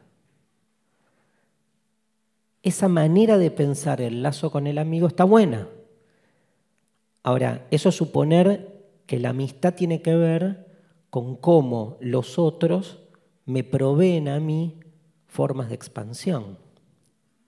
Sin contar que en esa expansión probablemente el otro pierda algo de su otredad, porque termina convirtiéndose en un medio para que yo pueda expandirme. La amistad es uno de los vínculos sociales que les diría casi como un ejemplo micro de lo que es una comunidad, es una primera comunidad en el sentido en que le estamos trabajando, ahora algo voy a decir de eso, donde más se visualiza el modo en que me relaciono con el otro.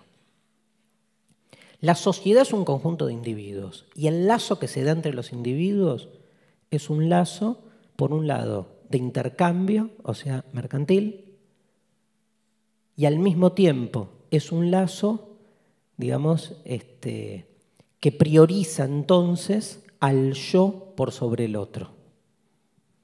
Frente a esa idea de sociedad está la idea de comunidad. La idea de comunidad más eh, antigua, que viene de la antigüedad, invierta en el esquema. Es la idea de que los individuos no son el punto último absoluto desde el que pensar y después ordenar la realidad, sino que los individuos son partes de un todo cuya prioridad constituye además la entidad de cada individuo. O sea, primero, está primero hay una totalidad. Y al interior de esa totalidad, los individuos, que ya no son individuos, porque ya son parte de un todo, los seres humanos, diríamos, las entidades vivas, adquieren identidad en función de esa totalidad. Pero esa totalidad es previa. Sócrates, cuando lo condenan, le dicen, elegí la sentencia, ¿qué preferís? ¿La muerte o el destierro? Y Sócrates se caga de risa, dice eso, la muerte. Y todos lo leemos al texto diciendo, pero qué estarado. O sea, andate de Atenas. Tenés mil lugares en el mundo. Y Sócrates dice, no, porque antes que ser un ser vivo llamado Sócrates, soy ateniense.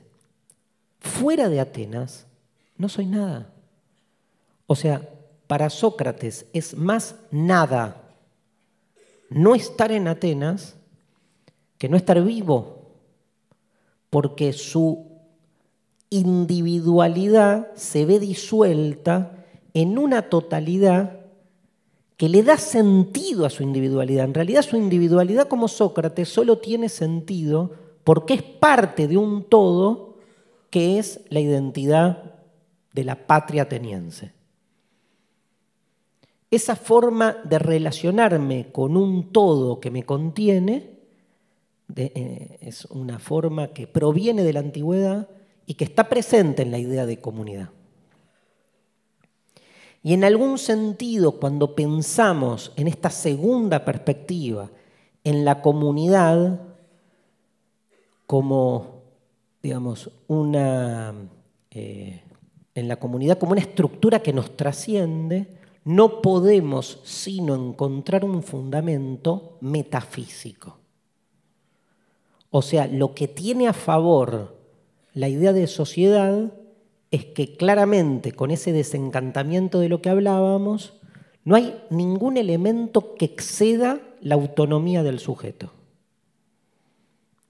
Lo que se provoca en esta segunda perspectiva es que hay que suponer que hay un elemento trascendente que tiene una fuerza superior y que de algún modo digamos, es este factotum de lo que somos. Hay que suponer que hay una esencialidad.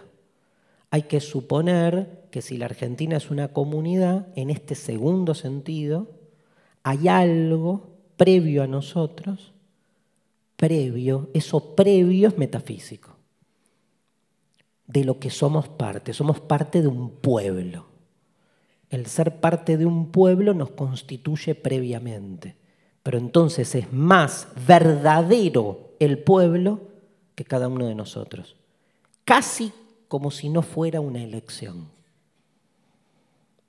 Este segundo sentido de la comunidad es mucho más fuerte, hace más, digamos, prioriza más el lazo que ya no lo entiende como un lazo entre individuos, sino que entiende que los individuos son, digamos, intersecciones que se dan a lo largo de esa totalidad que se despliega. Piensen en un cuerpo, en un cuerpo humano, por ejemplo. El organicismo es una buena metáfora de la idea de comunidad en este segundo sentido.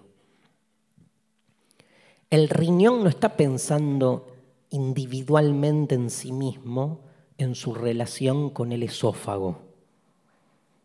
Cada uno de los órganos del cuerpo humano cumple un rol. Y cumple eh, su rol en función de una totalidad. No cumple su rol en función de sí mismo. Es más, cuando cada órgano de la comunidad, que es el cuerpo, funciona autónomamente, el cuerpo se descompensa porque se prioriza su, propia, su propio funcionamiento al funcionamiento de la totalidad. Así pensaban los antiguos la comunidad. Aristóteles, por ejemplo, pensaba que la primera comunidad era la familia. Porque en la familia esos lazos son completamente previos a las decisiones individuales. No hay individuo ahí. El hijo no decide ser hijo. Lamentablemente, ¿no? Yo les juro que si me hubieran preguntado, hoy, hoy, hubiese dicho no. Tipo, Darío, ¿querés nacer o no querés nacer? Para vivir lo que he vivido, hubiera dicho no. No soy malagradecido ni nada, ¿eh? hubiera dicho no, si me hubieran dado a preguntar. Si esto hubiese pasado en otro momento de la historia, pero hubiera dicho que sí. Pregunta estúpida, ¿no? Porque ¿a quién le preguntan? Que ya estás, ¿no? Para que te pregunten. Pero hay un caso que analiza Expósito Miren lo que me acordé, creo que lo di el año pasado en la clase de biopolítica de un, un joven francés que le hace, ¿se acuerdan de eso? Le hace un juicio al Estado francés porque la madre, digamos, le, le diagnosticaron mal una enfermedad y entonces terminó naciendo este chico con infinidad de enfermedades congénitas. Y el chico digamos, le hizo un juicio al Estado exigiéndole que por este mal diagnóstico por parte de un hospital público, si le hubiesen diagnosticado bien, la madre hubiera abortado y él no hubiese nacido. Y él hubiese preferido, para ser así, no haber nacido. Y ganó millones. Y es muy loco, porque ¿quién ganó? Nadie porque el sujeto que hace el juicio es el sujeto que no quiere ser sujeto. Cuando el Estado, cuando la justicia le reconoce, Nicolás Perruch se llamaba, cuando le reconocen, digamos, este, en el juicio su triunfo, le están reconociendo su derecho a no haber nacido. O sea, le reconocen que hubiese sido mejor no haber sido. El que no fue, el que pudo no haber sido, ganó el juicio. Sí. Sí. ¿La escuchan? No. Dale, yo...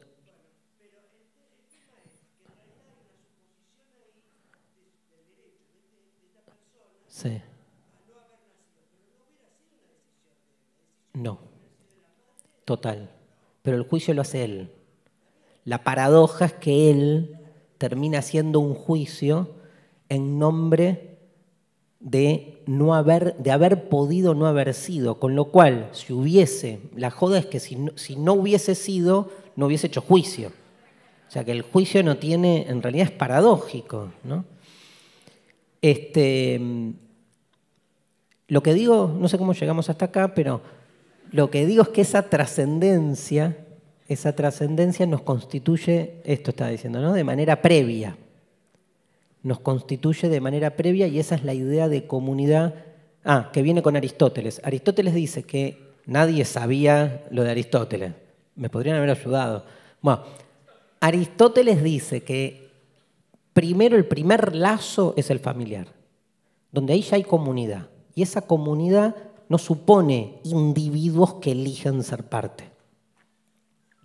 La familia se expande y es aldea, dice Aristóteles. Cuando uno ve la, piensa la estructura que, que hay en una aldea, es como una familia expandida. La aldea crece y es pueblo. El pueblo crece y es polis. Si hubiésemos seguido con el tiempo, la polis crece y es Estado Nacional. Y así llegamos a la Argentina, que es una gran familia, que es todo lo contrario a lo que ustedes votaron. ¿Por qué Aristóteles sostiene esto? Porque Aristóteles entiende que cuando, digamos, ponemos la lupa y vemos cómo son las relaciones sociales, tienen la misma lógica que las relaciones familiares. Y no es joda. Así pensamos también ciertas estructuras políticas. En algunas sociedades más que en otras, pero en algunas sociedades con fuerte personalismo presidencial, como la nuestra, el presidente es una especie de padre de todos nosotros. Y los hijos se rebelan, obviamente, o no, o hacen los deberes. Pero está esa matriz ahí, de algún modo presente, ¿no? en esa continuidad. Esta idea de la comunidad como algo que nos trasciende viene así con una impronta antigua, se pelea contra la forma moderna que está detrás de este modelo individualista, que es el contractualismo. ¿Quién es el pensador, el, pionero del contractualismo, eh, por lo menos en la modernidad? Un autor que se llama Thomas Hobbes. H-O-B-B-E-S para los cuatro que están tomando apuntes. Que están arriba todos, aparte. Ahí también, perdón, perdón, perdón, perdón. Es como que les hiero el narcisismo. Estoy tomando, estamos hablando de desapropiación de lo propio y ustedes, no, yo, yo, yo. Yo. Bueno. Em, Hobbes. ¿Qué dice Hobbes? A diferencia de Aristóteles, esto es lo más importante que hay que entender para nuestro tema, piensa Hobbes, siglo XVI, que no nacimos en comunidad. Lo que Aristóteles sostiene al sostener que nacemos en comunidad es que el hombre es un ser político. Es famosa la frase de Aristóteles, el hombre es un zoon politikon, un animal político. ¿Qué significa que sea un animal político? Que ya desde siempre está en una relación social. Digo, Marx dice lo mismo, pero al revés. Pero parte del mismo plano. ¿eh? O sea, hay el, el ser humano es un ser social. Lo comunitario, al atrasarlo hasta la familia, entonces es parte constitutiva de lo que somos. Hobbes piensa al revés. Sostiene e inicia una tradición que va a ser la tradición contractualista liberal capitalista, sostiene que hay una instancia prepolítica, que por definición los seres humanos somos seres individuales. Podés nacer de la mamá, lo que quieras, pero cuando naciste sos solo. Y lo primero en términos de legalidad, lo que hay sos vos, tu cuerpo, tu deseo, tu voluntad, tu razón. La política, o sea, el lazo, siempre es posterior. Pero en el origen, el ser humano es libre, solo, y el tercer elemento que agrega Hobbes, que es problemático, egoísta. ¿Qué significa egoísta? Es algo malo o bueno, ni malo ni bueno, es técnico el concepto. Egoísta significa que actúa en función de la satisfacción de sus necesidades. Vean un bebé, busca sobrevivir. No hay otro elemento que la supervivencia. Y para sobrevivir no hay lazo o el lazo que se construye está en función de la supervivencia. Todo lo contrario a una relación originaria comunitaria. En este caso, nacemos solos, en estado natural, dice Hobbes. Después se hizo famoso como que el hombre es malo por naturaleza, pero no es la idea de mal moral, es la idea de, digamos, autosupervivencia. O sea, para el contractualismo, la ley, el lazo social, la política, tomando a los tres como sinónimos, son productos posteriores artificiales que generamos con el único objetivo de sostener nuestra individualidad. Pero en el fondo, fondo, fondo, primero cada uno. Por lo tanto, lo comunitario no tiene un sentido previo ni trascendente, sino un sentido, les diría, de inversión, de cuidado o un concepto clave que empieza a esgrimirse en la filosofía jovesiana y después en el contractualismo liberal, que es la seguridad. Porque la búsqueda más importante para ese individuo que nace prepolíticamente y empieza a desarrollarse es que todo lo que consigue, adquiere e incorpora no se lo saquen. Para el que no conoce la teoría contractualista, Hobbes lo que muestra es que si en el origen nacemos libres, solos y egoístas en estado natural, lo que necesariamente se va a dar es una guerra de todos contra todos. Porque cada uno quiere expandirse al máximo, cada uno quiere desplegar su libertad, cada uno quiere egoístamente sobrevivir necesariamente va a haber conflicto, el mismo conflicto del que hablábamos antes. Pero para Hobbes el conflicto es negativo, porque lleva a violencia. Y Hobbes cree que la tarea de la ley, de la política, del Estado, es conjurar esa violencia. Todos los seres humanos nos damos cuenta en ese primer momento, porque somos seres racionales, que este estado natural, dice Hobbes, de competencia entre todos, no nos conviene a ninguno. Porque hoy me toca matarte a vos y mañana me toca que me maten.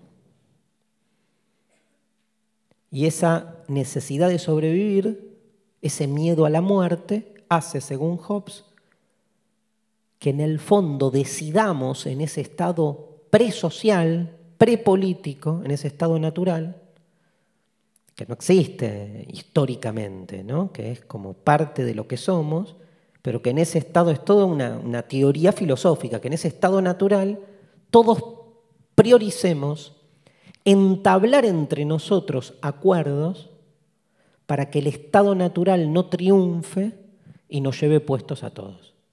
Como en el fondo tememos a la muerte, pero al mismo tiempo somos libres, se nos da esa paradoja. Queremos expandir al máximo nuestra libertad, pero para eso necesitamos que al mismo tiempo la libertad que el otro también expande no nos lleve puestos. ¿Cómo hago para ser lo máximamente libre posible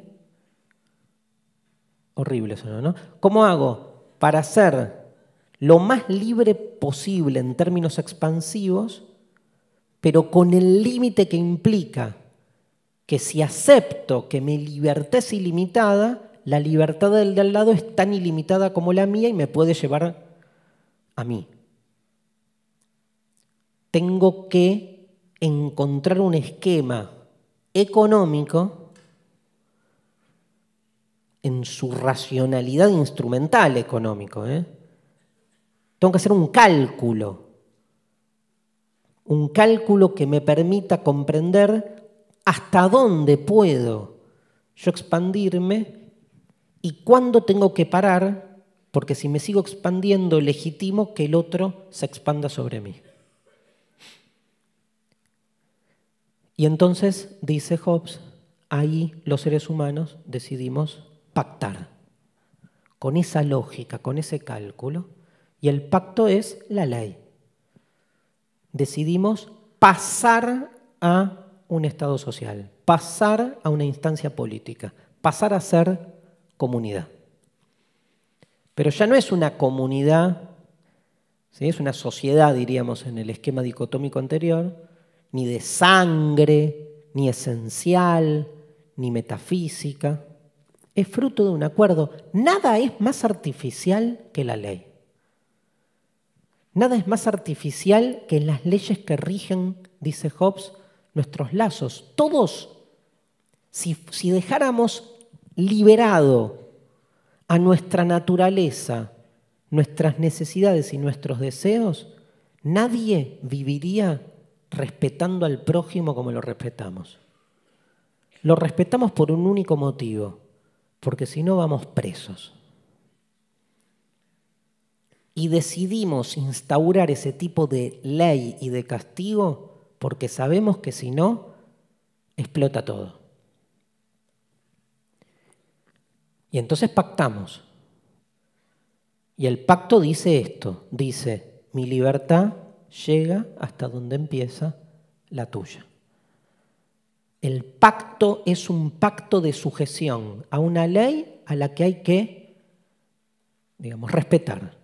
Pero la ley está pensada individualmente en el reaseguro de cada uno y en el cumplimiento de los acuerdos entre nosotros.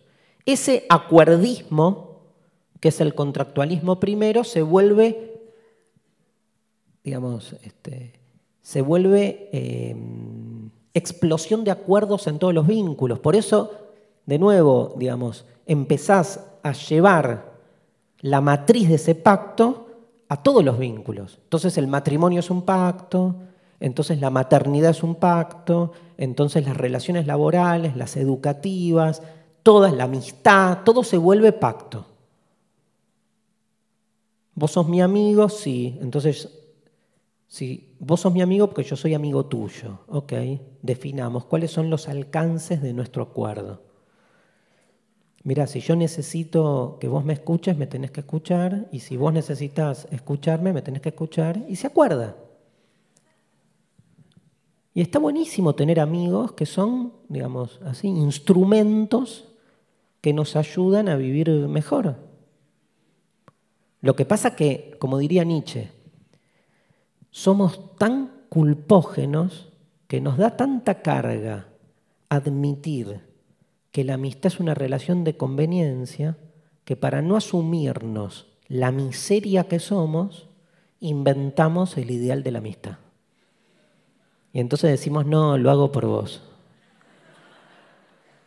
Te escucho porque, porque lo necesitas es la falacia de la amistad, ¿no? Porque en realidad la clave de la amistad es que uno hace las cosas por el otro. Si uno hace las cosas por el otro, entonces no tiene sentido exigirle al otro reciprocidad. Pero ¿quién tiene una relación con un amigo que uno da pero no recibe?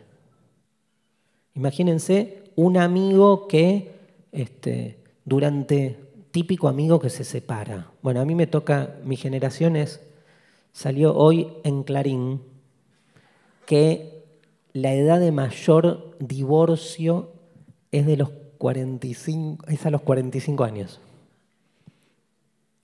¿Sí? Creo.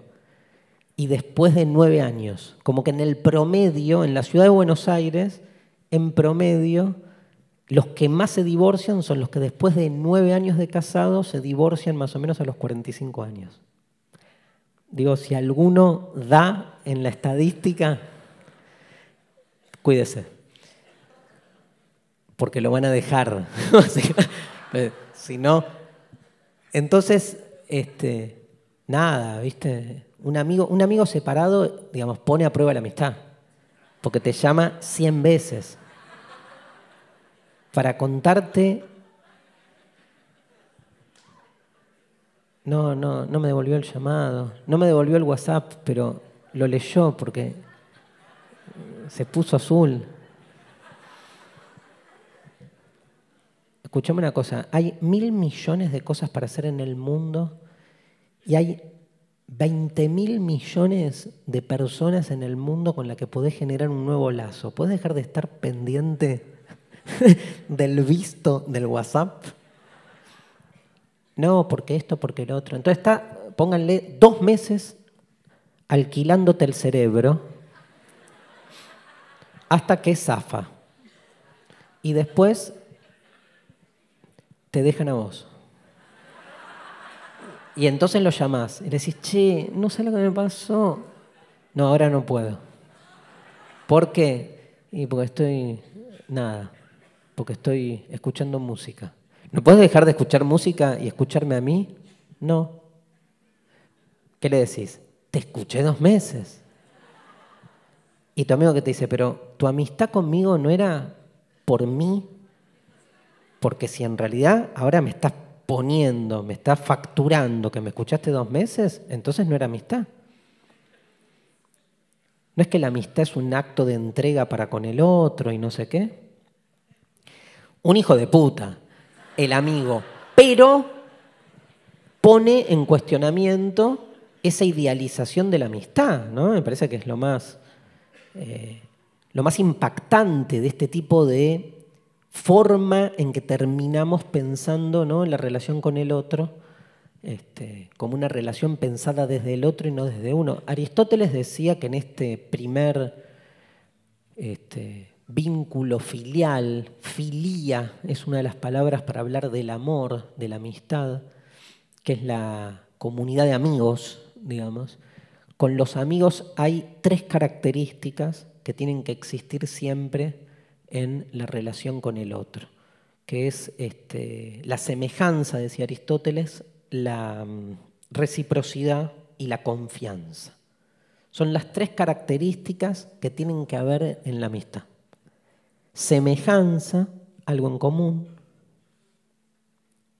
Reciprocidad, yo soy amigo tuyo porque vos sos amiga mía o amigo mío.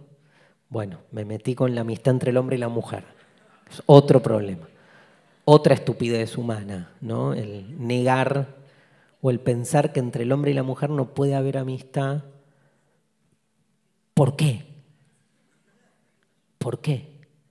Porque hay deseo y que el deseo cambia, ¿no? Cambia el eh, estatus de la relación. O sea, vos tenés un amigo de, bueno, además la lectura heteronormativa, ¿no? de que no puede, hablar, no puede haber amistad entre el hombre y la mujer, pero sí entre el hombre y el hombre porque la homosexualidad no existe, digo, en esa lectura. ¿no? Digo, si el problema es el deseo, pero bueno, dejemos ese problema de lado, que es el más simple. No hay posibilidad de, este, digo, el conflicto acá es pensar que la práctica sexual oficia esto es lo que le importa a todos, ¿no? Este tema. Es la práctica sexual oficia de rito de pasaje.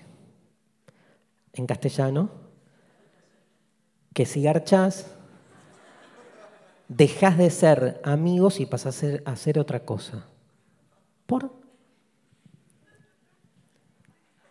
Si comes con el otro, suponete. En la comida con el otro estás compartiendo una comida, ¿Compartís placer?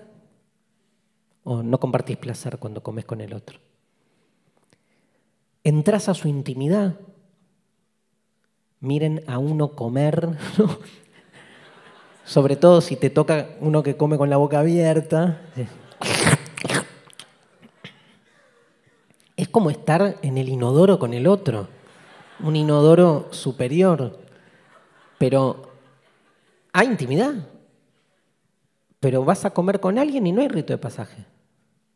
Ahora tenés sexo y hay rito de pasaje, que es un tema de como, de, no sé de qué, iba a decir una guarangada, porque ni siquiera es un tema, si quieren, metafóricamente hablando, corporal, porque no es que hace falta, o sea, un beso ya es un rito de pasaje.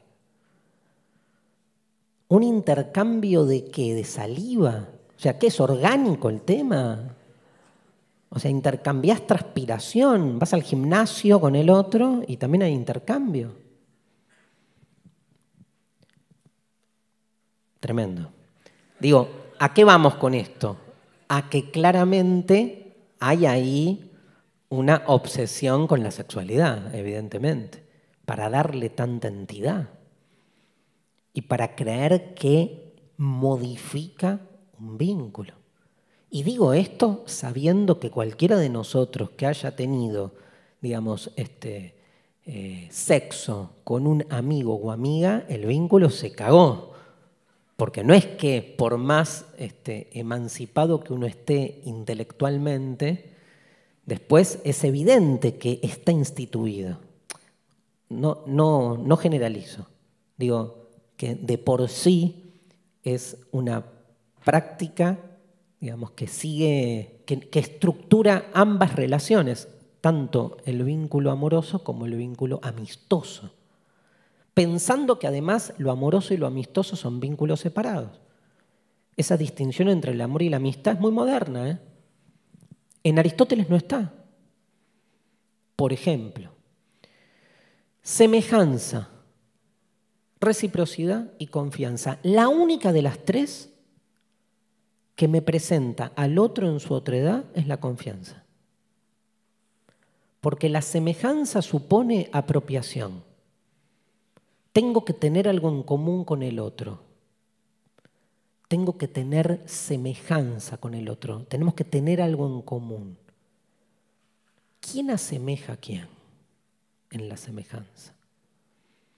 Porque suponemos que la semejanza es un valor que se da de manera igualitaria. Pero si, como decíamos en la primera parte de la clase, toda relación supone una relación de poder, ¿no hay en la semejanza siempre alguien que asemeja más al otro? Y si la amistad tiene que ver con la reciprocidad, ¿No pierde entonces la amistad su entidad más bien donativa, o sea, de don, de dar al otro por sobre todas las cosas y por lo que el otro es en sí mismo y no en función de lo que me da?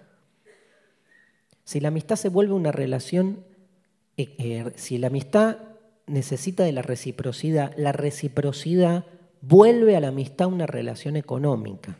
Si es una relación económica, ¿cuál es el problema? El sostenimiento del paradigma del individuo. No deja de ser la amistad una relación por conveniencia. ¿Tiene algo de malo? ¿Qué tiene de malo eso? Todo depende de hasta qué punto uno quiera sostenerse en un paradigma. Pero la confianza es revolucionaria, ¿eh? porque no encaja. La confianza en el otro. ¿Saben de qué palabra viene confianza? Fe. Confianza, ese fi, fides, fe. O sea, no hay, no hay contrato en la confianza. En cambio, en la reciprocidad hay contrato. Tácito en la amistad, pero en general. Digo, siempre el problema con estas relaciones al otro, hacia el otro, se limitan cuando se pone en juego el contrato. Si hay contrato, hay prioridad del yo. Digo, si el amor es amor hacia el otro, pero en, la, en el vínculo con el otro hay contrato, entonces ya no hay prioridad del otro, porque el contrato te resguarda. Si vos firmás un contrato de amor, de amistad, de lo que quieras con el otro, el contrato es una forma de seguridad personal. No hay fe. No existe la fidelidad por contrato. Es un oxímoron. Para todos aquellos que tienen un acuerdo de pareja, seamos fieles. Es un acuerdo. Todo bien, es un acuerdo, no es fidelidad. Es un acuerdo no estamos con otros. ¿Por qué lo llamamos fidelidad? Por lo que dije antes de Nietzsche, para no sentirnos tan miserables. Porque la fidelidad es tener fe en el otro. Si hay fe, no hay contrato. El contrato es porque no le creo. Y porque me es fundamental que el otro no esté con otros porque algo se me juega en la apropiación del otro. Entonces fíjense que la confianza es la que termina como rompiendo este paradigma centrado en el yo. Voy hacia el final. ¿Qué hora es? ¿Me dicen? hay un problema acá de horario. Esperen, voy a hacer lo que no debía, pero no confío en nadie.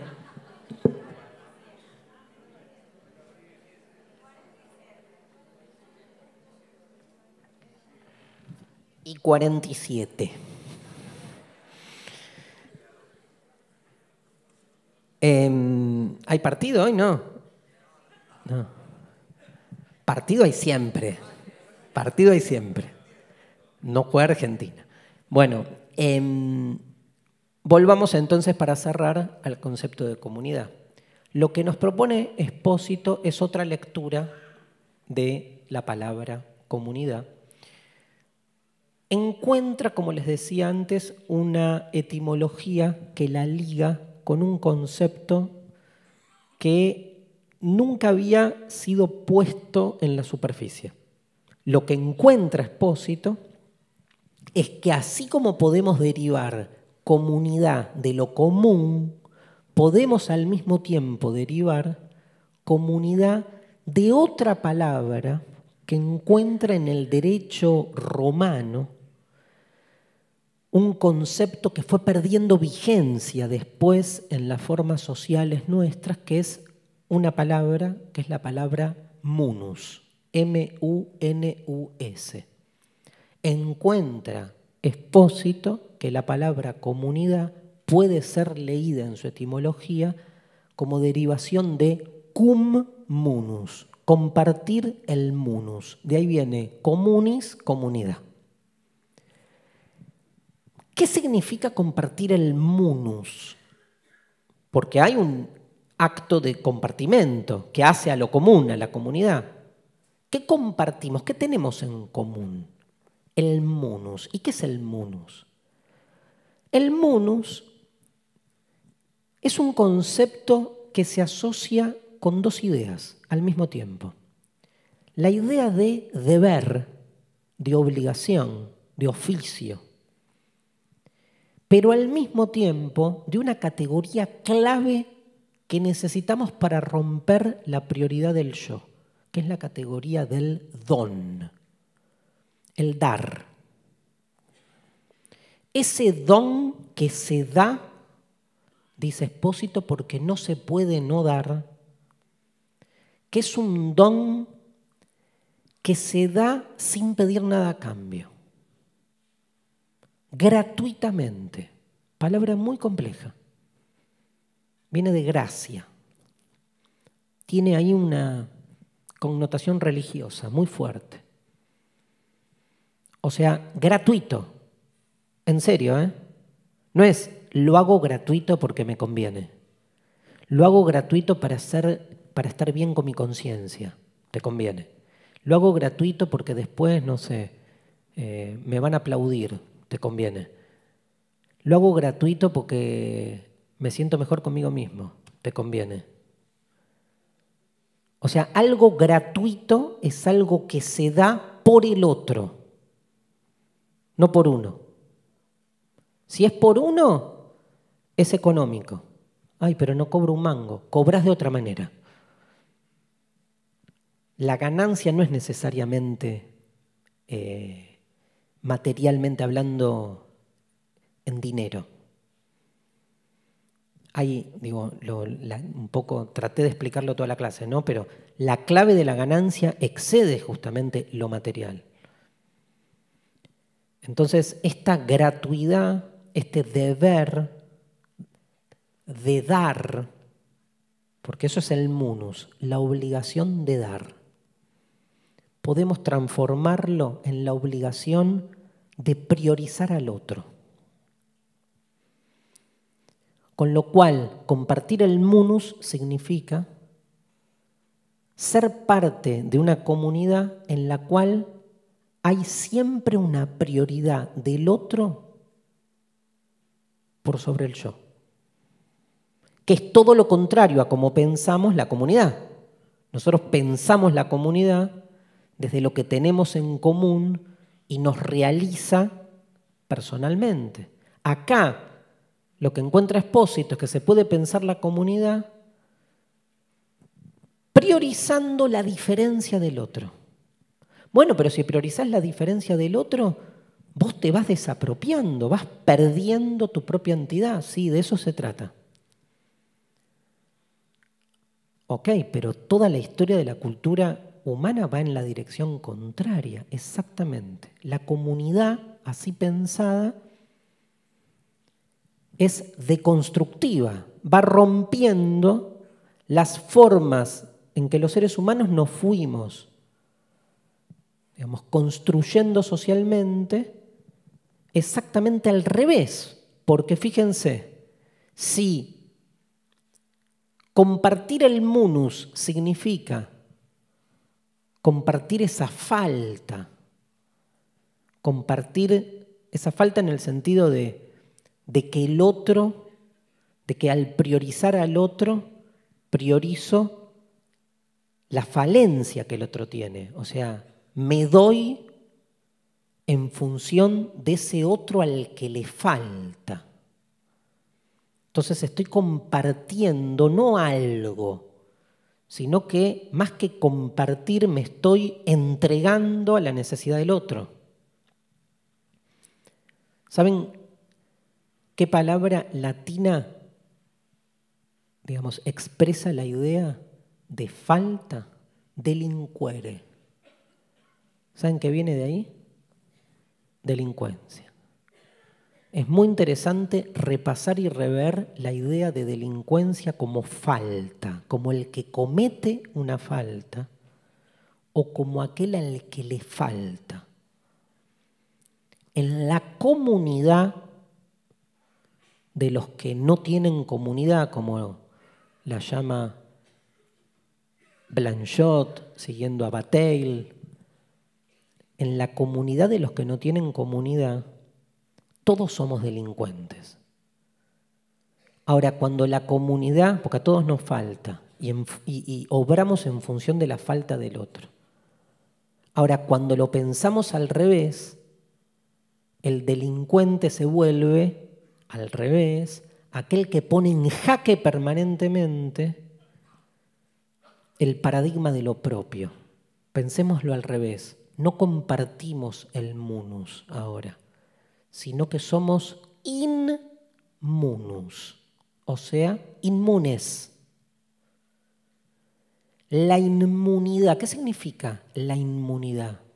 Significa que cierro mis defensas en función del otro, que pasa a convertirse necesariamente en un delincuente, con todas las modalidades que ustedes quieran. Porque su propósito es resquebrajar mis fronteras. Cuando soy inmune, me creo dispensado, exento de la obligación de dar al otro.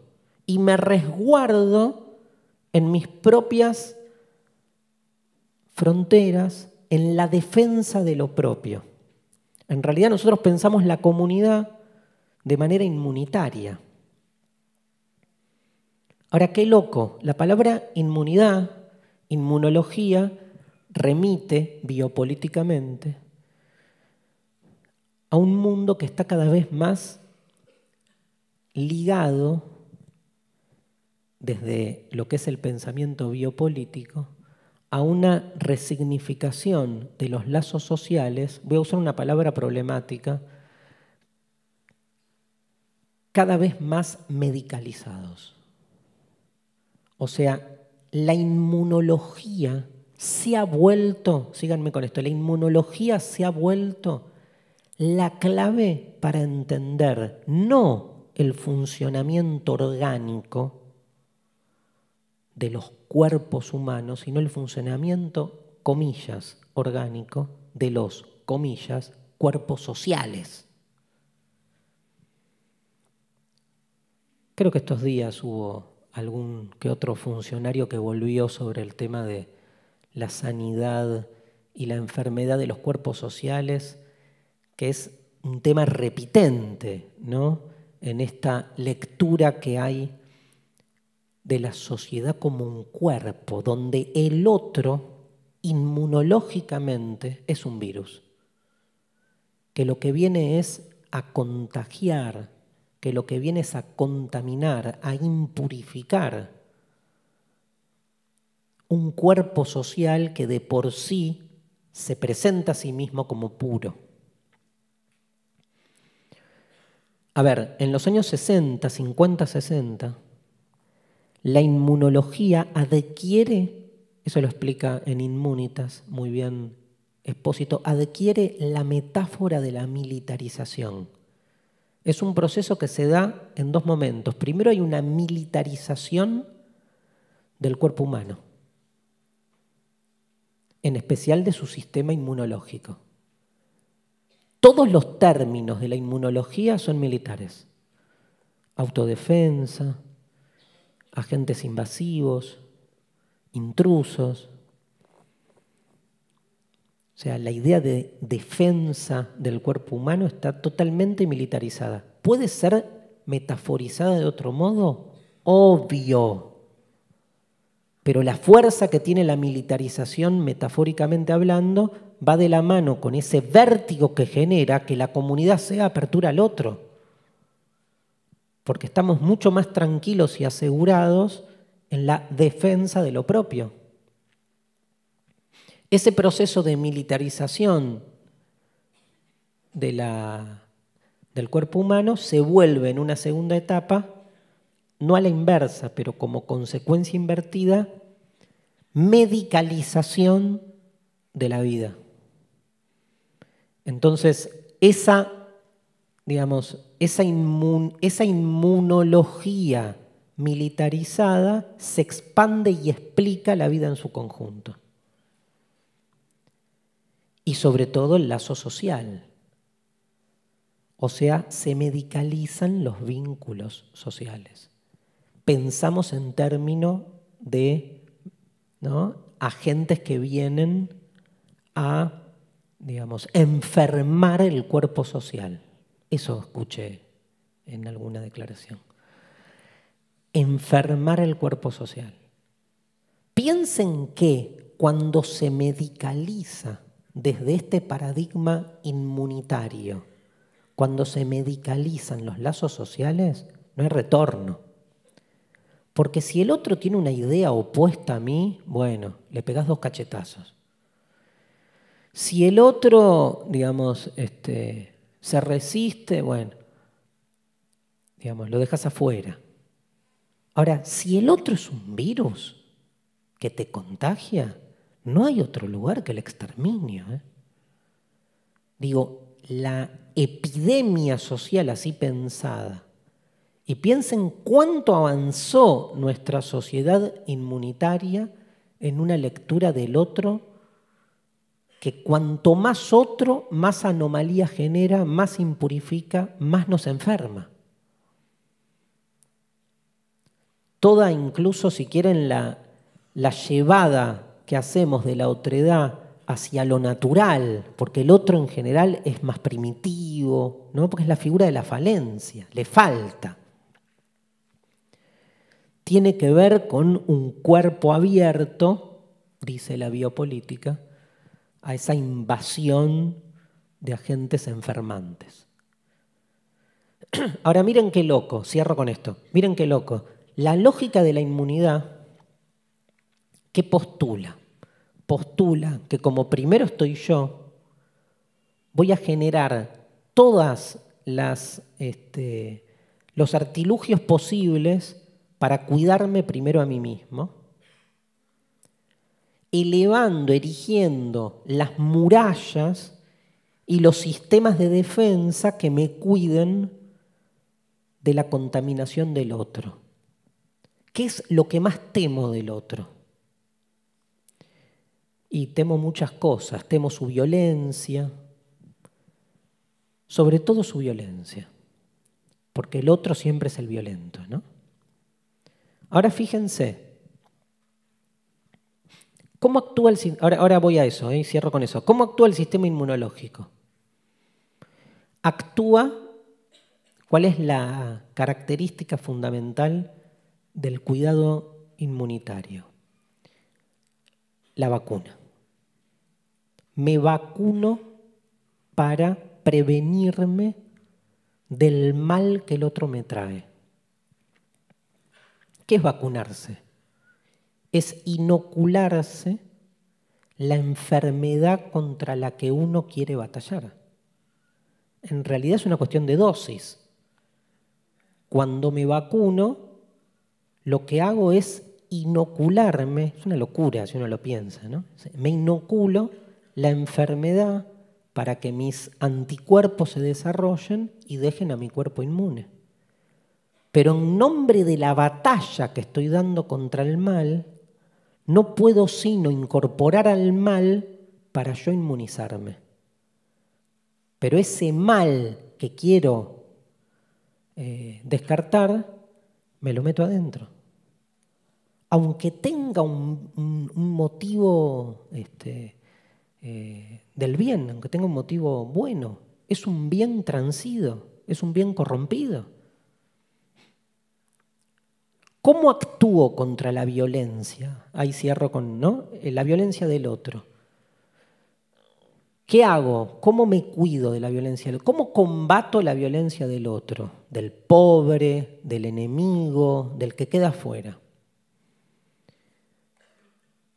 Violentando a los violentos.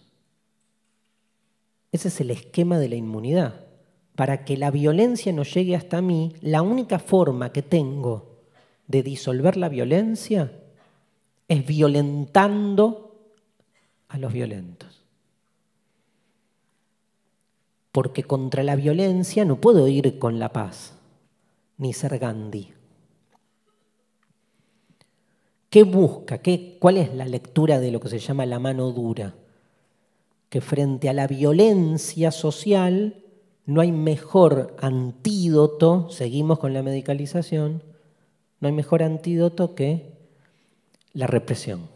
¿Qué es la, represión? Violencia. ¿Para qué se reprime? Para que no haya violencia. ¿Cómo acabas con la violencia? Violentando la violencia.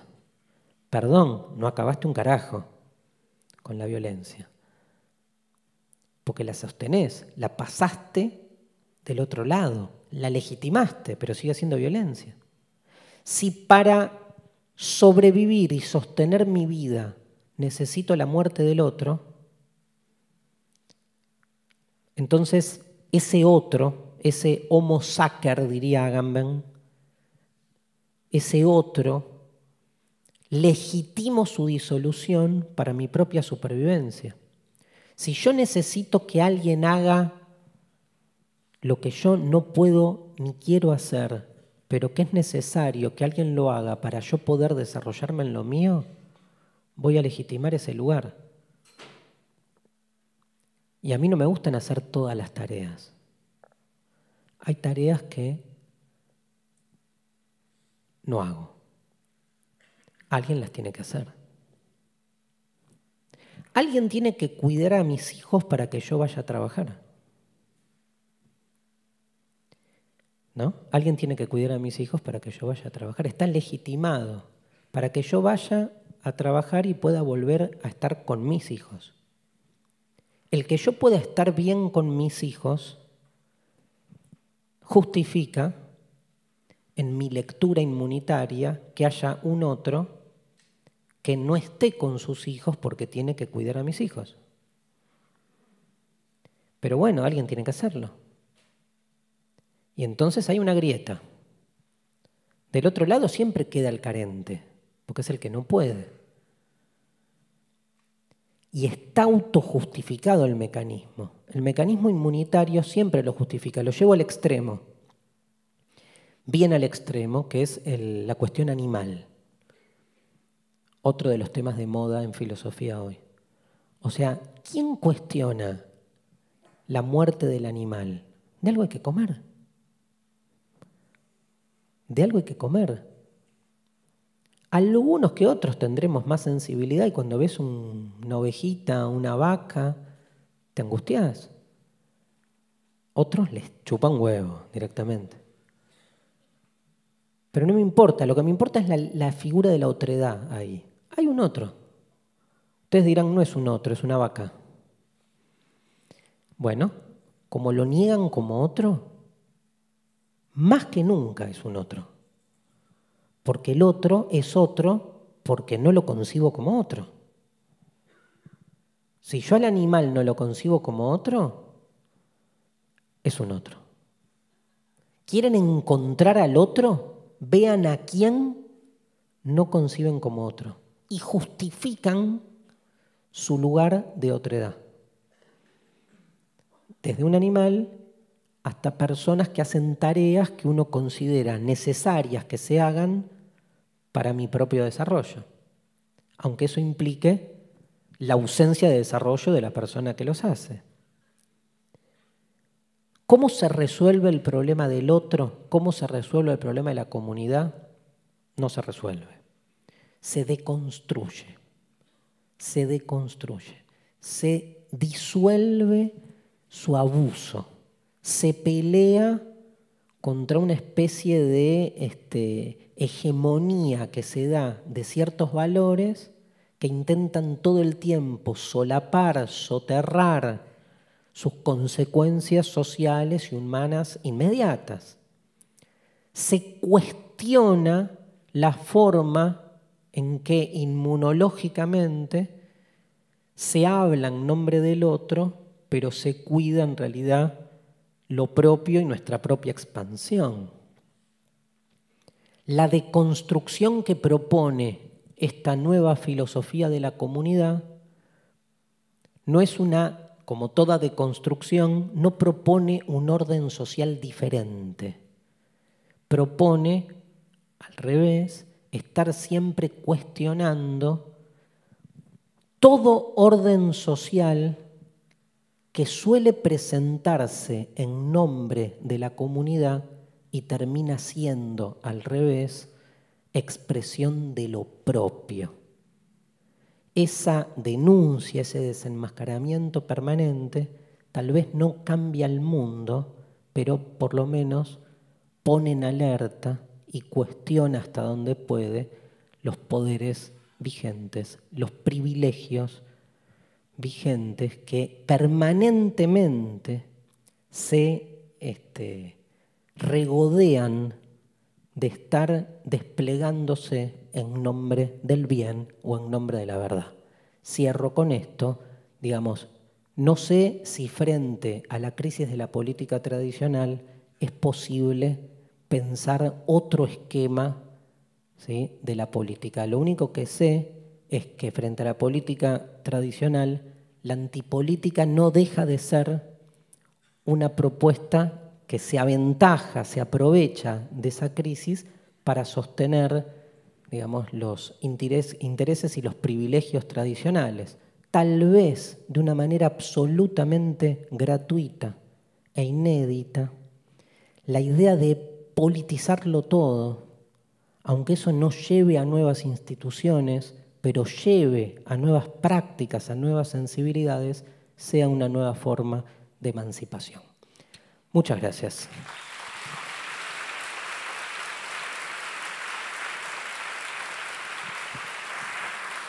Muchas gracias. Nos vemos con el, con el amor. Con el amor.